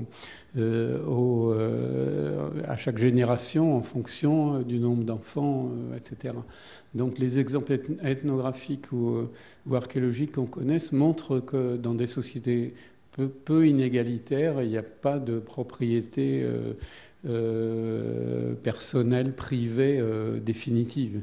Et qu'en revanche, par exemple, vous rappelez vous, vous souvenir d'école, de, ben c'est au XVIIIe siècle, XVIIe, XVIIIe, en Angleterre, on a le mouvement dit des enclosures, où les seigneurs, jusque-là, la, la, terre euh, est en théorie possédée par les seigneurs, mais les paysans font, font ce qu'ils veulent. On va se mettre à euh, mettre des clôtures et à expulser euh, euh, donc les, paysans pour que ça reste justement la propriété des seigneurs. Et ça avait été une des conditions justement du développement du, de l'économie de type euh, capitaliste qui commence, comme vous le savez, en Angleterre. Alors, seul élément qu'on a, c'est qu'on a quelques éléments de cadastre. Hein, je vous ai montré tout à l'heure la, vallée des merveilles. Eh bien, en Italie, dans le, ce qu'on appelle le Val Camonica, toujours une vallée qui descend des Alpes, on a des représentations de choses qui pourraient ressembler à des cadastres euh, et qui donc euh, seraient une cartographie. Récemment, on a découvert aussi en, Bretagne, on a redécouvert tout un, dessin euh, datant. Donc ce dont je parle, c'est des cadastres vers moins 1500 à peu près. Et à peu près à la même date, moins 1500, moins 2000, en Bretagne un lieu dit qui s'appelle BM, on a, quelque chose qui ressemble à une carte, une cartographie donc euh, euh, d'un pays et qui ressemble bien au paysage de l'endroit où ça a été trouvé. Donc il semble qu'on commence à, à essayer, une, période qui est assez hiérarchisée, parce qu'on a retrouvé cette carte dans une tombe princière, qui semble y avoir un début d'appropriation des terres mais euh, c'est seulement quand on a effectivement l'écriture euh, qui va avec l'État que là on est sûr qu'il euh, y a propriété privée. Donc au, début, il semble, il semble, que ça soit effectivement pas du tout déterminé et fixe. Et ça a été un des arguments euh, symétriques pour justifier la colonisation de l'Australie par les Anglais, parce que comme c'était occupé par des chasseurs-cueilleurs qui ne cultivaient pas la terre, euh, on a déclaré, en prenant le terme juridique euh, latin, terra nullius, c'est-à-dire terre, de, de personnes, puisqu'il n'y avait pas des champs et, avec des clôtures, puisque c'était au contraire des chasseurs-cueilleurs nomades, alors qu'ils avaient des manières d'exploiter quand même euh, la terre, il y avait des, systèmes de, bassins sur les fleuves euh, pour euh, élever, entretenir les poissons, il y avait des systèmes de brûlis des plantes sauvages pour en favoriser certaines, etc. Donc voilà où on en est. Merci.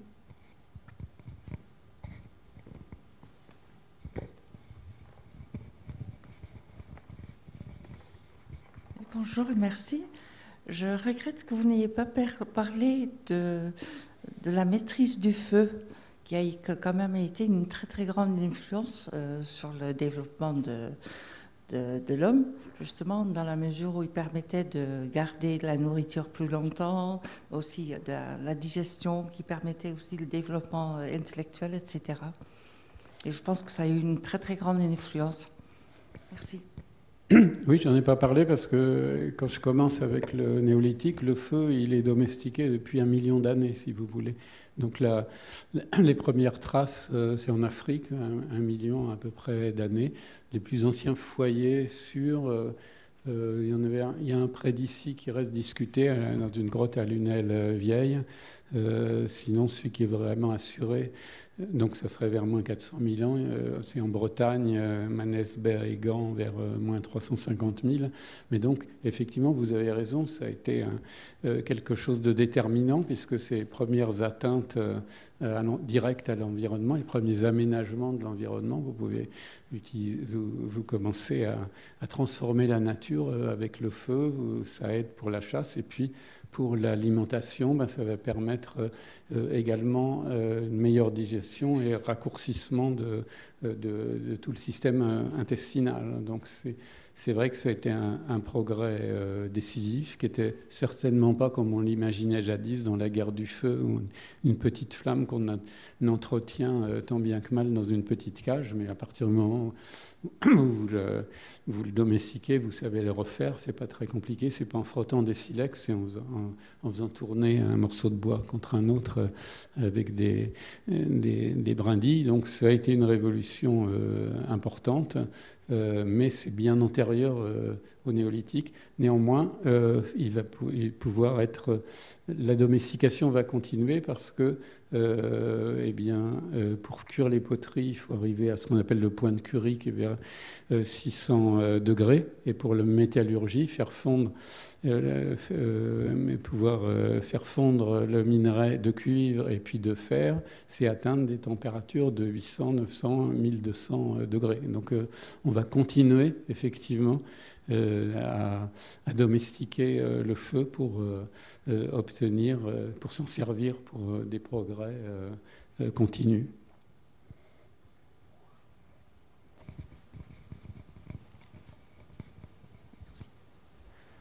bonjour.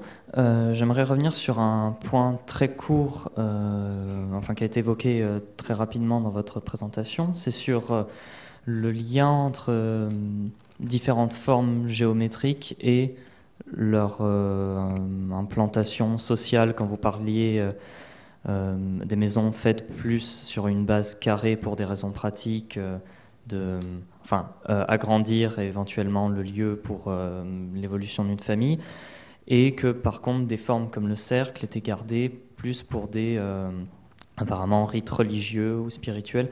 Et j'aimerais savoir si vous avez d'autres choses à dire ou si vous pouvez développer sur ce lien entre les formes et leur euh, utilisation euh, sociale ou euh, spirituelle c'est pas là ce que j'ai montré, c'est valable pour le Proche-Orient, c'est-à-dire qu'effectivement, on s'achemine assez vite vers des formes quadrangulaires. Et la raison qu'on ont proposé les, les, archéologues travaillant dans la région, c'est comme je vous l'ai dit, le fait que c'est plus facile à agrandir. Néanmoins, si vous parcourez l'ensemble de la planète, il y a des maisons rondes et il y a des maisons quadrangulaires même, euh, même en, France, à l'âge du fer, par exemple, donc l'époque des, Gaulois, euh, la plupart des maisons sont quadrangulaires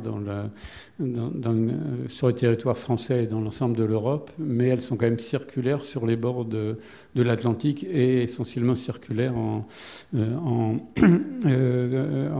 dans les îles britanniques. Et comme vous savez, en Afrique, vous avez les, les, deux formes. Euh, donc, donc c'est aussi des choix culturels.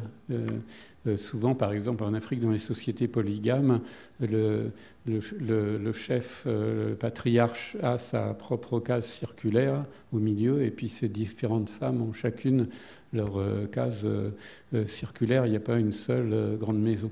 Euh, de même, il y a des régions où vous avez des grandes maisons collectives et tout le monde dedans, comme celle que j'ai montrée pour le néolithique du nord de la France.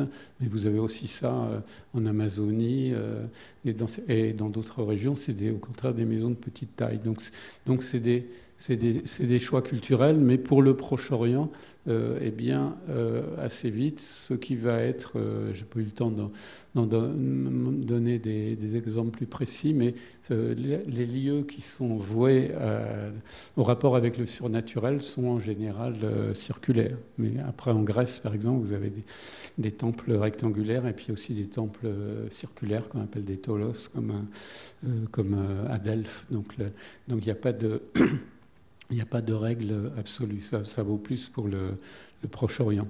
Cela dit, également, euh, quand euh, j'ai montré euh, de la poterie, et en général, les, les, poteries des sociétés traditionnelles sont décorées uniquement avec des motifs géométriques les, représentations, euh, ça va apparaître beaucoup plus euh, avec les sociétés étatiques, les fameux vases grecs avec leurs leur scènes mythologiques, euh, etc.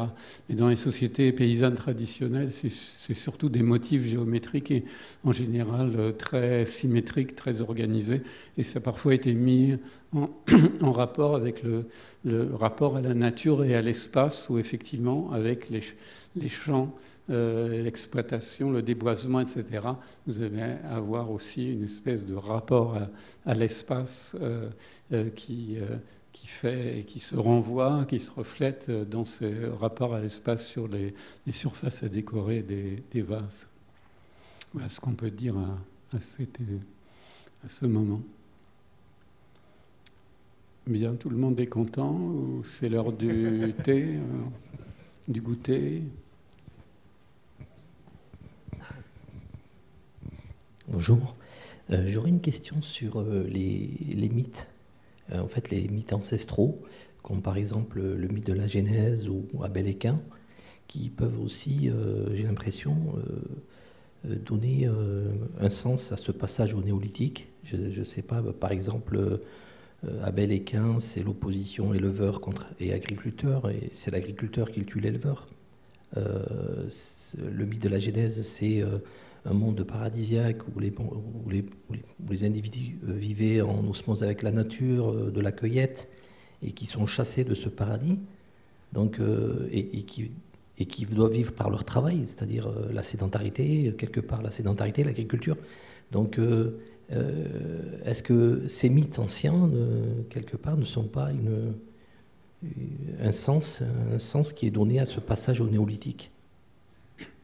Il y, a, un certain nombre de travaux tout récents, justement, qui essaient de, de mettre en rapport tous les mythes euh, du monde en se demandant si certains remontent pas justement au début de, de, Sapiens et à sa dispersion. Par exemple, les, mythes de création du monde, euh, ils sont assez proches euh, les uns des autres. Alors, c'est l'éternel débat de savoir si c'est un point d'origine ou si au contraire c'est influences réciproques au, fil du temps. Donc, euh, c'est des, recherches assez nouvelles. Vous avez deux, chercheurs français qui ont publié des synthèses récentes dans les deux dernières années, Jean-Loïc Lequelec et et Julien euh, Duy. Mais plus précisément, ce que vous dites, euh, c'est que euh, souvent, effectivement, l'agriculture est, est, donnée comme pénible. Et c'est effectivement, dans la jeunesse, c'est clair, c'est la chute. S'il n'y avait pas eu Ève et, la pomme, on serait toujours au paradis terrestre et on n'aurait pas besoin de, travailler. Donc c'est vraiment une punition. Tu cultiveras la terre à la sueur de, de ton front. Et c'est le cas dans quand même un certain nombre de mythologies. Et on s'est aperçu avec le confinement, les gens qui avaient la chance d'être payés sans travailler, ben, ça a été dur après de recommencer à travailler. Et, euh, euh, certaines professions ont du mal à trouver, notamment dans la restauration, à trouver des gens euh, qui acceptent de nouveau de travailler sans être beaucoup payés. Donc même le mot travail en français euh, vient de Tribulum, euh, tri, oui, qui, qui à l'origine est une, non pas Tribulum, tri, etc., qui est une machine de torture hein, à l'origine, hein, puisque le, travail, le, mot travail en latin c'était labor, hein, donc c'était ça donnait quand même laborieux, mais sinon, sinon le travail, euh, etc. Mais c'est quand même pas partout. Des fois, euh, euh, en Amérique du Sud, c'est une divinité qui donne le maïs aux, populations. Mais il faut savoir que le travail du maïs c'est quand même beaucoup plus facile que celui du que, enfin traditionnel, demande moins d'efforts et moins pénible que celui du, que celui du blé. Euh, d'ailleurs, il y avait un, ethnologue français qui s'appelait Georges-André Audricourt qui comparait euh, le, rapport euh, avec les céréales et les animaux au Proche-Orient, en Europe d'une part, et en Asie. Euh, le mouton est un animal complètement euh, dominé. Il y a même la métaphore du bon pasteur qui guide son, troupeau de moutons euh, dociles, sinon de moutons de, de panurger le blé. On le coupe, on l'écrase, etc. Alors qu'en en Asie, vous pouvez avoir un rapport assez différent. Il y a certaines plantes, même comme en partie le riz qu'il faut inonder, mais le taro l'igname, vous avez un rapport beaucoup moins indirect et beaucoup moins violent. Et le buffle aussi, souvent, c'est, il est guidé par des enfants et il les, les, protège contre le tigre. Donc vous pouvez avoir des, Et, on va avoir deux systèmes, deux visions du monde différents, toujours selon Audrey Cour. Euh, chez nous, euh, une vision euh, dite dualiste, le corps, l'âme, tout ça extrêmement différent et séparé. Et, au contraire, en Asie, une religion beaucoup plus globalisante, sans cette séparation aussi stricte. Donc, euh, ça, il y a pu aussi avoir ces, effets. Mais c'est vrai que globalement, le travail dans beaucoup de, dans beaucoup de, systèmes, le travail de la terre notamment, qui objectivement est, pénible, même si maintenant il est, il est motorisé, euh, est, vu, euh, est vu comme une punition.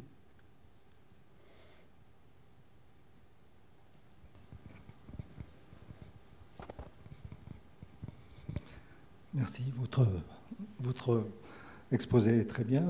Et j'ai retenu aussi par rapport aux, épidémies, vous avez parlé de brucellose, et euh, il me semblait aussi qu'il y avait la variole ou plein de plein d'autres maladies euh, euh, issues de la domestication de, des, des, bovidés. Et par contre, avant, il y avait aussi certainement des, épidémies. Euh, d'ailleurs, la dernière euh, grande épidémie, c'est le sida, c'est plutôt les chasseurs-cueilleurs, qui, euh, le type chasseur-cueilleur, puisque l'origine du sida, c'est vers le Cameroun, et puis donc c'était de la chasse, c'était des chasseurs qui avaient ensuite mangé des, animaux. Est-ce que vous pourriez en dire plus sur ces rapports? Euh, comme j'ai dit, il y, a, toujours eu des maladies, mais euh, sur un groupe de, 30 personnes euh, qui croisent par exemple une, chauve-souris qui va donner une forme de, de, Covid et la moitié de la population va, mourir et l'autre va, s'immuniser, mais de toute façon, le groupe suivant, il est à 30 km de là, donc les maladies, elles existent, on, les met de plus en plus en évidence. Avant, c'est seulement si ça avait des effets sur les, sur les os eux-mêmes, comme la lèpre, etc. Mais maintenant, avec la génétique, vous pouvez euh, retrouver effectivement euh, sur les os humains euh, la trace de. on a retrouvé les traces de la peste, qui maintenant est plus ancienne trace de peste en Europe du Nord, qui remonte à au moins 5000 ans, même si on ne sait pas, même si c'est le bacille dit Yersinia pestis, on ne sait pas si c'était aussi mortel que ça a pu être ultérieurement. De même qu'on ne sait pas si beaucoup de ce qui nous est décrit comme la peste dans les textes anciens, c'était la peste ou autre chose. Par exemple, on parle de la peste d'Athènes au 5e siècle, qui a tué Périclès et plein d'autres gens. Euh, d'après les descriptions, on ne sait pas trop ce que c'est. La, première peste certaine, euh, c'est celle de Justinien sous l'Empire euh, byzantin au, au, 7e siècle. Donc il y a toujours eu des maladies. Euh, et des épidémies. Est-ce qu'on peut appeler ça des épidémies dans un groupe de 30 personnes? En tout cas, il y a toujours eu des maladies transmissibles. Ces maladies sont en grande partie venues, des animaux, effectivement, euh, et peuvent venir des animaux sauvages. Hein. La mouche tsetse, la maladie du sommeil, euh, c'est pas, c'est pas, c'est pas une mouche domestique. Et de même, c'est l'une des, origines possibles du, du SRAS et des chauves-souris. c'est aussi un animal sauvage, mais dans ce cas-là, c'est le fait que les humains, en étant de plus en plus nombreux, se rapprochent de plus en plus des, derniers animaux, euh, des derniers animaux sauvages. Euh, donc, euh, donc c'est effectivement, bah, par exemple, il y a un débat sur la tuberculose. Est-ce que ça vient des bovidés ou est-ce que c'est les humains qui l'ont transmis aux, aux, bovidés? Mais la plupart des maladies connues, plus on fait de découvertes scientifiques, plus elles remontent loin dans le temps et, et sont et, vont avec les chasseurs-cueilleurs, effectivement. Mais simplement, la, la, mention de l'agriculture va démultiplier, puisqu'on va être de plus en plus proche des animaux et on va être de plus en plus nombreux et en plus sédentaires. Voilà. Sinon, c'était déjà en germe euh, avant.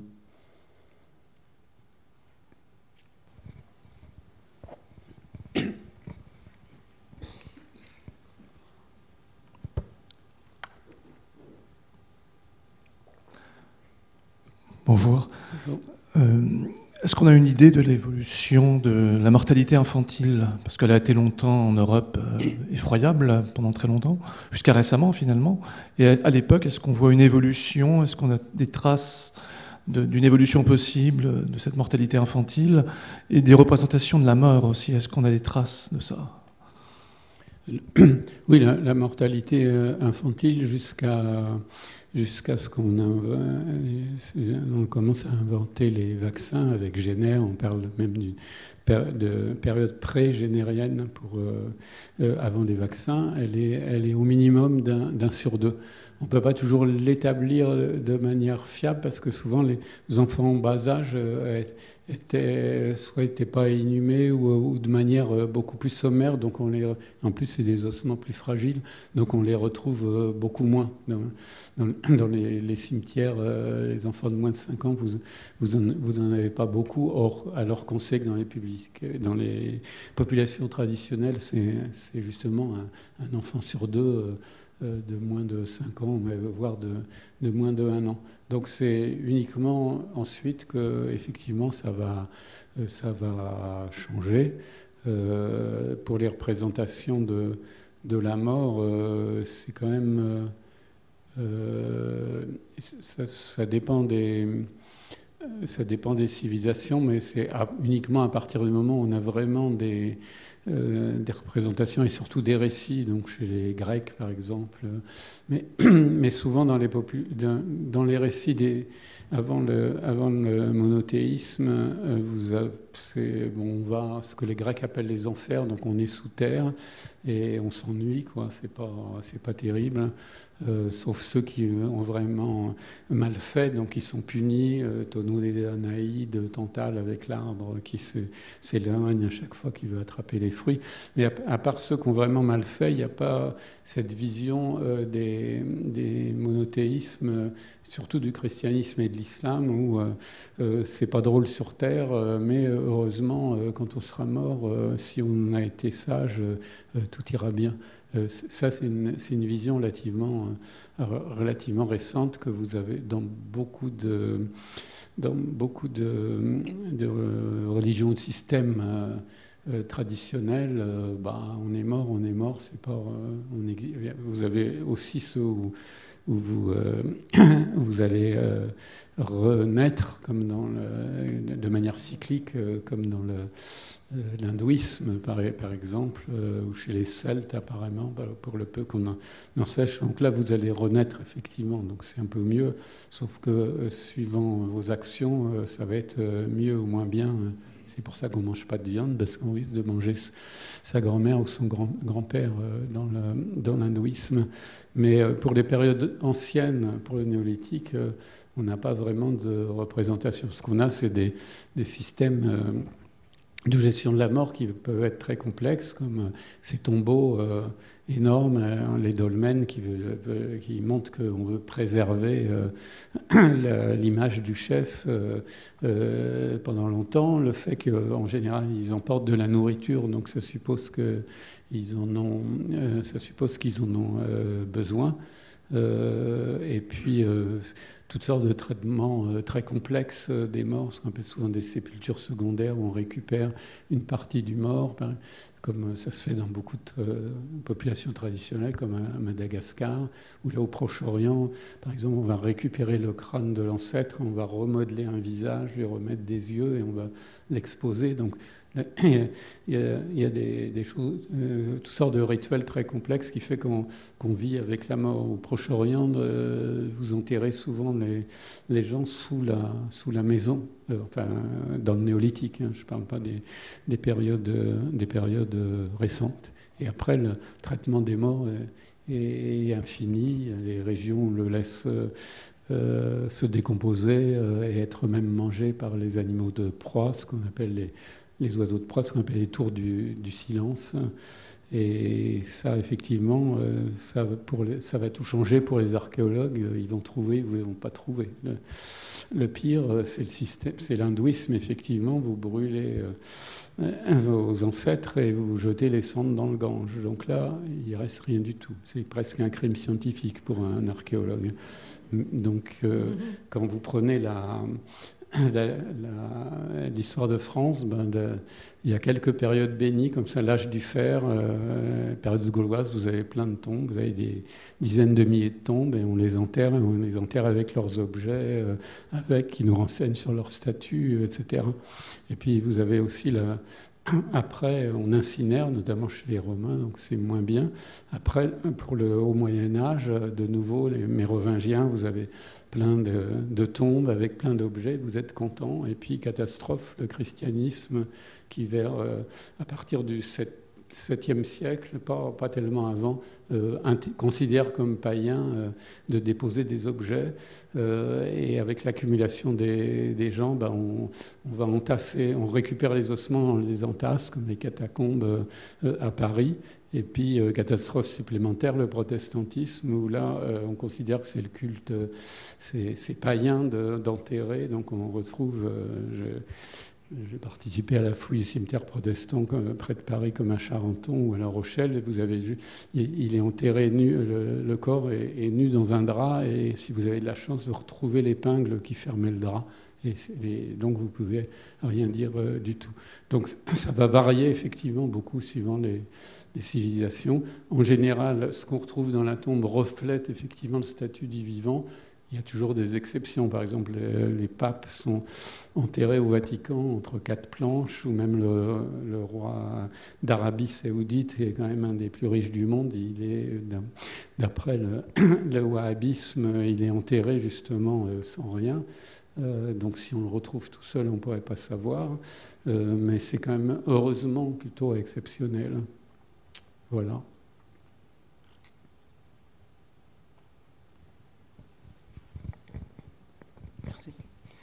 Est-ce qu'on a une idée de la pression sur l'environnement des chasseurs-cueilleurs et s'ils auraient pu continuer à, se multiplier, enfin jusqu'à quel point, euh, sachant que vous avez parlé d'un taux de natalité qui est passé de, 1 à 3, enfin qui a été multiplié par 3, mais s'il n'y avait pas eu la sédentarisation, jusqu'où ça aurait pu continuer? Je pense que ça aurait pu continuer très longtemps parce que effectivement ça, restait une pression euh, très faible, hein, de quelques euh, on estime que c'est à peu près 2 millions sur toute la planète, euh, quelques dizaines de milliers en Europe. Hein.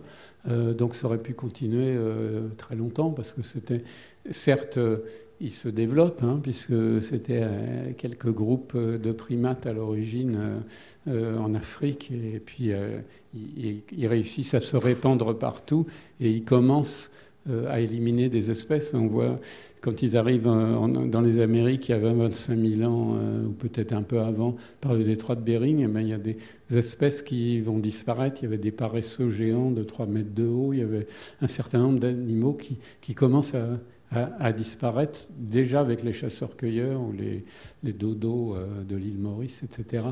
Euh, mais il y avait de la marge. Voilà, donc euh, je pense qu'on aurait pu euh, continuer sur cette lancée hein, encore pas mal, pas mal de temps euh, sans, sans qu'il y ait une pression très très forte sur l'environnement parce qu'il y avait quand même, y avait quand même beaucoup de place. Mais on ne veut pas revenir en arrière. Voilà.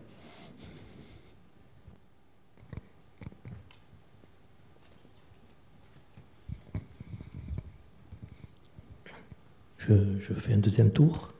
Euh, la question sur la prohibition de l'inceste, est-ce qu'elle remonte, euh, cette règle-là, est-ce qu'elle remonte au passage du néolithique? La prohibition d'inceste La prohibition de l'inceste, euh, effectivement, c'est une règle considérée comme universelle et je voulais savoir vraiment si elle, elle, remonte à cette époque de la néo-utilisation ou bien avant.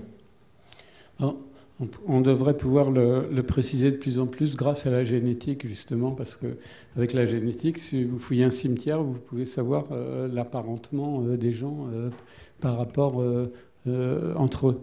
Alors, c'est pas dans les exemples historiques, c'est pas entièrement absolu. Par exemple, dans les familles royales, les pharaons, on pouvait épouser sa on pouvait épouser sa sœur dans certains euh, systèmes euh, du Maghreb, euh, des cousins relativement proches. Mais on considère que c'est moins moral que le fait que, ce qui fait que, par exemple, nous, on a éliminé les, les, hommes de Néandertal qui étaient arrivés avant nous. qui descendaient de Homo erectus arrivés en Europe il y a un, million d'années. Euh, si on les a éliminés, on commence à voir, c'est parce qu'il y a beaucoup plus de relations à longue distance entre les groupes de sapiens, alors que les, génétiquement, les néandertaliens ont l'air d'être à chaque fois assez repliés sur, eux. Donc on attribue l'interdiction de la prohibition de l'inceste. Euh, C'était déjà Claude Lévi-Strauss qui avait réfléchi là-dessus, euh, sur le fait que ça oblige à avoir des, relations euh, entre groupes et, donc, euh, ça permet des solidarités qui permettent de, euh, justement, en cas de coup dur, de compter sur des gens avec qui vous êtes, avec qui vous êtes apparenté.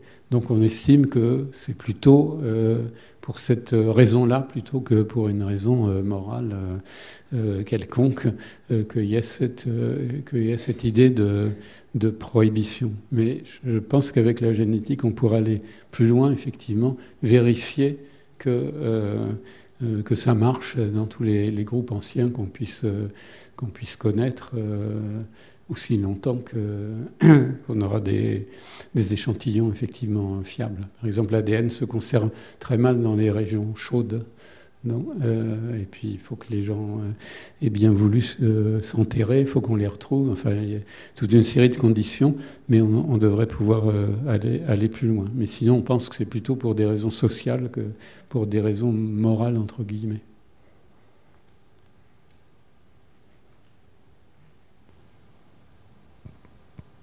Bien.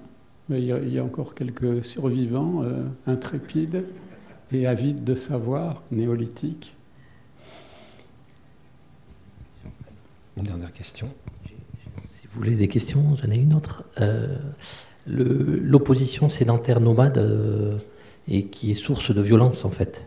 Euh, est-ce que vous pouvez nous en dire un peu plus On a, moi j'ai l'exemple comme ça de en Égypte ancienne des batailles entre Ramsès et des peuples nomades. donc donc on a là des sociétés euh, très sédentaires, euh, des États euh, bien hiérarchisés et, toujours des, des, des, peuples nomades qui, on a l'impression que quand même il y a une, opposition entre de, nature entre le, les, nomades et, les sédentaires, qui source de violence. C'est-à-dire, pour, les périodes anciennes, effectivement, vous avez les États qui sont par définition sédentaires, hein. euh, même si on peut trouver euh, des formes un peu particulières comme les Mongols, euh, etc. mais, donc, vous avez ces sociétés dans l'Antiquité qui sont sédentaires, puis autour, vous avez des, populations qui, elles, ne sont pas forcément nomades au sens du grand nomadisme, mais ne sont pas encore urbanisées mais qui en revanche euh, peuvent euh, euh, débouler sur les sociétés, sur les sociétés étatisées urbaines pour se servir. il y a un proverbe qui a été cité par James Scott, dont je vous ai montré le livre tout à l'heure. Si je me souviens bien, je crois que c'était un, proverbe berbère qui, qui dit les razzias sont nos moissons, c'est-à-dire qu'on ne va pas s'embêter à cultiver, on va juste se servir chez les voisins. Donc et, euh, James Scott, justement, euh, a tout un passage, la, dernière partie de son livre. Attendez, je vais boire.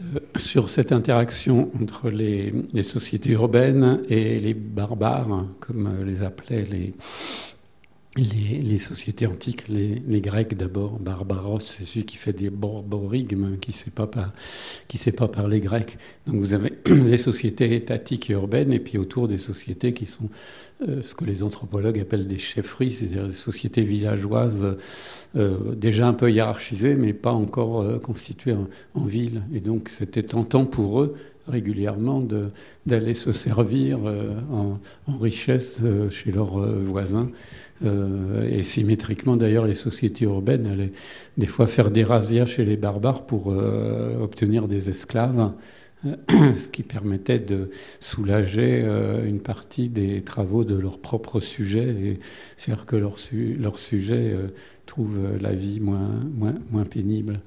Euh, mais cela dit, euh, vous avez quand même plusieurs formes de, nomadisme. Il y a encore des nomades chez nous, justement, des gens du voyage ou Rome, etc., qui en général sont effectivement euh, mal vus, qui sont notamment dans, nos, régions, puisqu'il y a beaucoup de, de, gitans, et qui historiquement sont attestés à partir du XIVe siècle. On a des textes qui ils disent qu'ils viennent euh, recommandés par le roi de Bohême, d'où leur terme de bohémien, où on dit, pense qu'ils viennent d'Égypte, donc on va dire euh, gypsy, euh, gypsies, à partir d'Égypte. Ils sont, donc théoriquement, ils parlent une langue qui est apparentée aux langues de l'Inde du Nord, mais on les connaît historiquement qu'à partir de, des Balkans et du, Moyen Âge. Mais ils sont effectivement euh, mal vus, c'est les voleurs de poules, etc. Euh, euh, donc ils sont toujours mal vus des, des, sédentaires. Et sinon, effectivement, les nomades, vous n'avez vous n'avez plus que là où l'environnement l'oblige, comme dans, les steppes, où effectivement on était obligé de se déplacer en, fonction des ressources saisonnières et où on est plus dépendant de, l'élevage que de l'agriculture parce que l'agriculture est, difficile à, établir. Mais effectivement, ça a toujours été un, rapport classique d'opposition et, et qui est, y compris jusqu'à maintenant, créé dans nos esprits.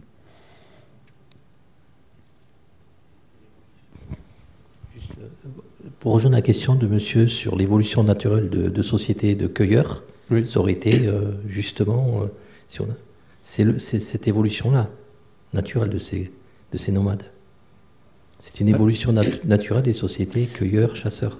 la plupart des chasseurs-cueilleurs étaient euh, euh, ils nomadisaient en fonction des ressources saisonnières, ça, dépendait. Mais vous avez quand même des, des, des, des, chasseurs-cueilleurs sédentaires là où c'est possible, et en général c'est lié à des ressources euh, aquatiques, c'est-à-dire bord de mer, lacunes, fleuves. Là, je vous ai montré tout à l'heure la culture de l'Epenskivir sur les bords du Danube, hein, euh, vous avez toute l'année des, ressources, donc des poissons, des coquillages, des mammifères euh, marins. Euh, donc vous avez ça au, Japon, la culture qu'on appelait du Jomon, où vous avez des chasseurs-cueilleurs sédentaires avec des villages et même des débuts de hiérarchie sociale. Il y avait ça sur la côte nord-ouest des États-Unis et du Canada tous les, les populations qui faisaient les grands mâts totems, les Tlingit, les Haïda, etc., qui avaient des, des ressources euh, euh, comme ça de saumon notamment, et qui aussi avaient des capacités de stockage, euh, poissons séchés, glands, châtaignes, etc., qui leur permettaient d'être sédentaires et qui avaient des grands villages et déjà même des sociétés guerrières et esclavagistes. Donc quand, on peut, si l'environnement le, permet, on est effectivement, on peut être sédentaire et il y a même des sociétés, justement, chasseurs-cueilleurs, euh, qui étaient sédentaires et qui ont inventé la poterie, comme au Japon ou en Chine, avant que l'agriculture soit inventée. Mais de ce point de vue-là, euh, il ne faut pas imaginer effectivement le, euh, le, cheminement des sociétés humaines comme un chemin unique vers des sociétés de plus en plus complexes. C'est l'intérêt du livre que je vous signalais tout à l'heure de Greber et Wengrow, au commencement était une nouvelle une nouvelle histoire des sociétés, c'est le fait que vous avez plusieurs, euh, il y, a, eu plusieurs bifurcations possibles, même si effectivement euh, c'est notre mode de vie qui pour euh, toutes sortes de raisons, a fini par s'imposer, mais c'est quand même pas imposé partout et, sans doute pas non plus de manière définitive. il ne faut pas imaginer justement ce qu'on appelait au 19e siècle l'évolutionnisme, où vous aviez une série, on franchissait une série d'étapes en commençant par les chasseurs-cueilleurs et en finissant par nous, euh, qui était forcément la forme la plus aboutie et la plus euh, magnifique de l'évolution humaine. Bien, ben, oui, bon. Oui, parce que moi je travaille, mais... Euh, Encore une dernière sur les... Vous avez parlé à un moment d'une belle carte, je n'avais jamais vu sur les différentes céréales et les géographies. Oui.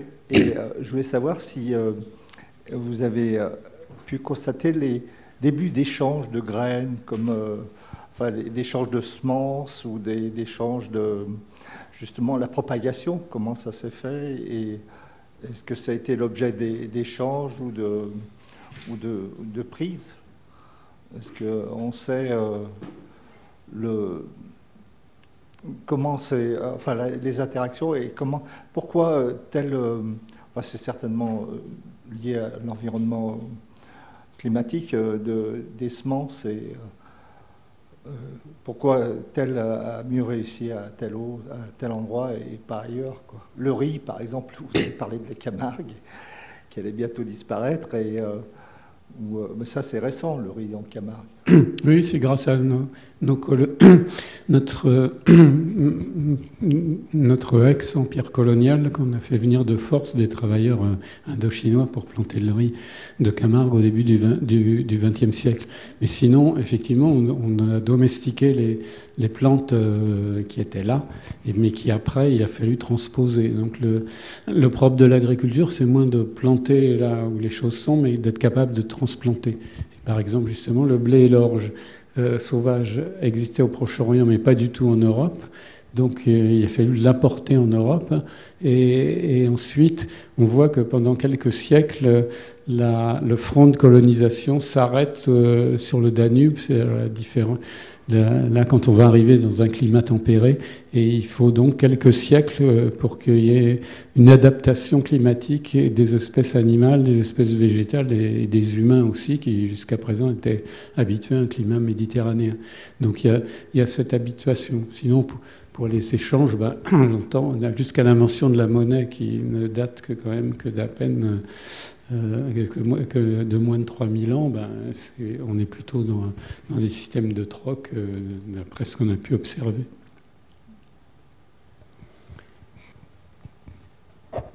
Voilà. Bon, ben, je suis sensible à votre soif de savoir, mais je vous propose de clore. Donc, merci beaucoup, Monsieur Demoule, pour ce passionnant exposé. Merci pour, euh, pour votre interactivité aussi.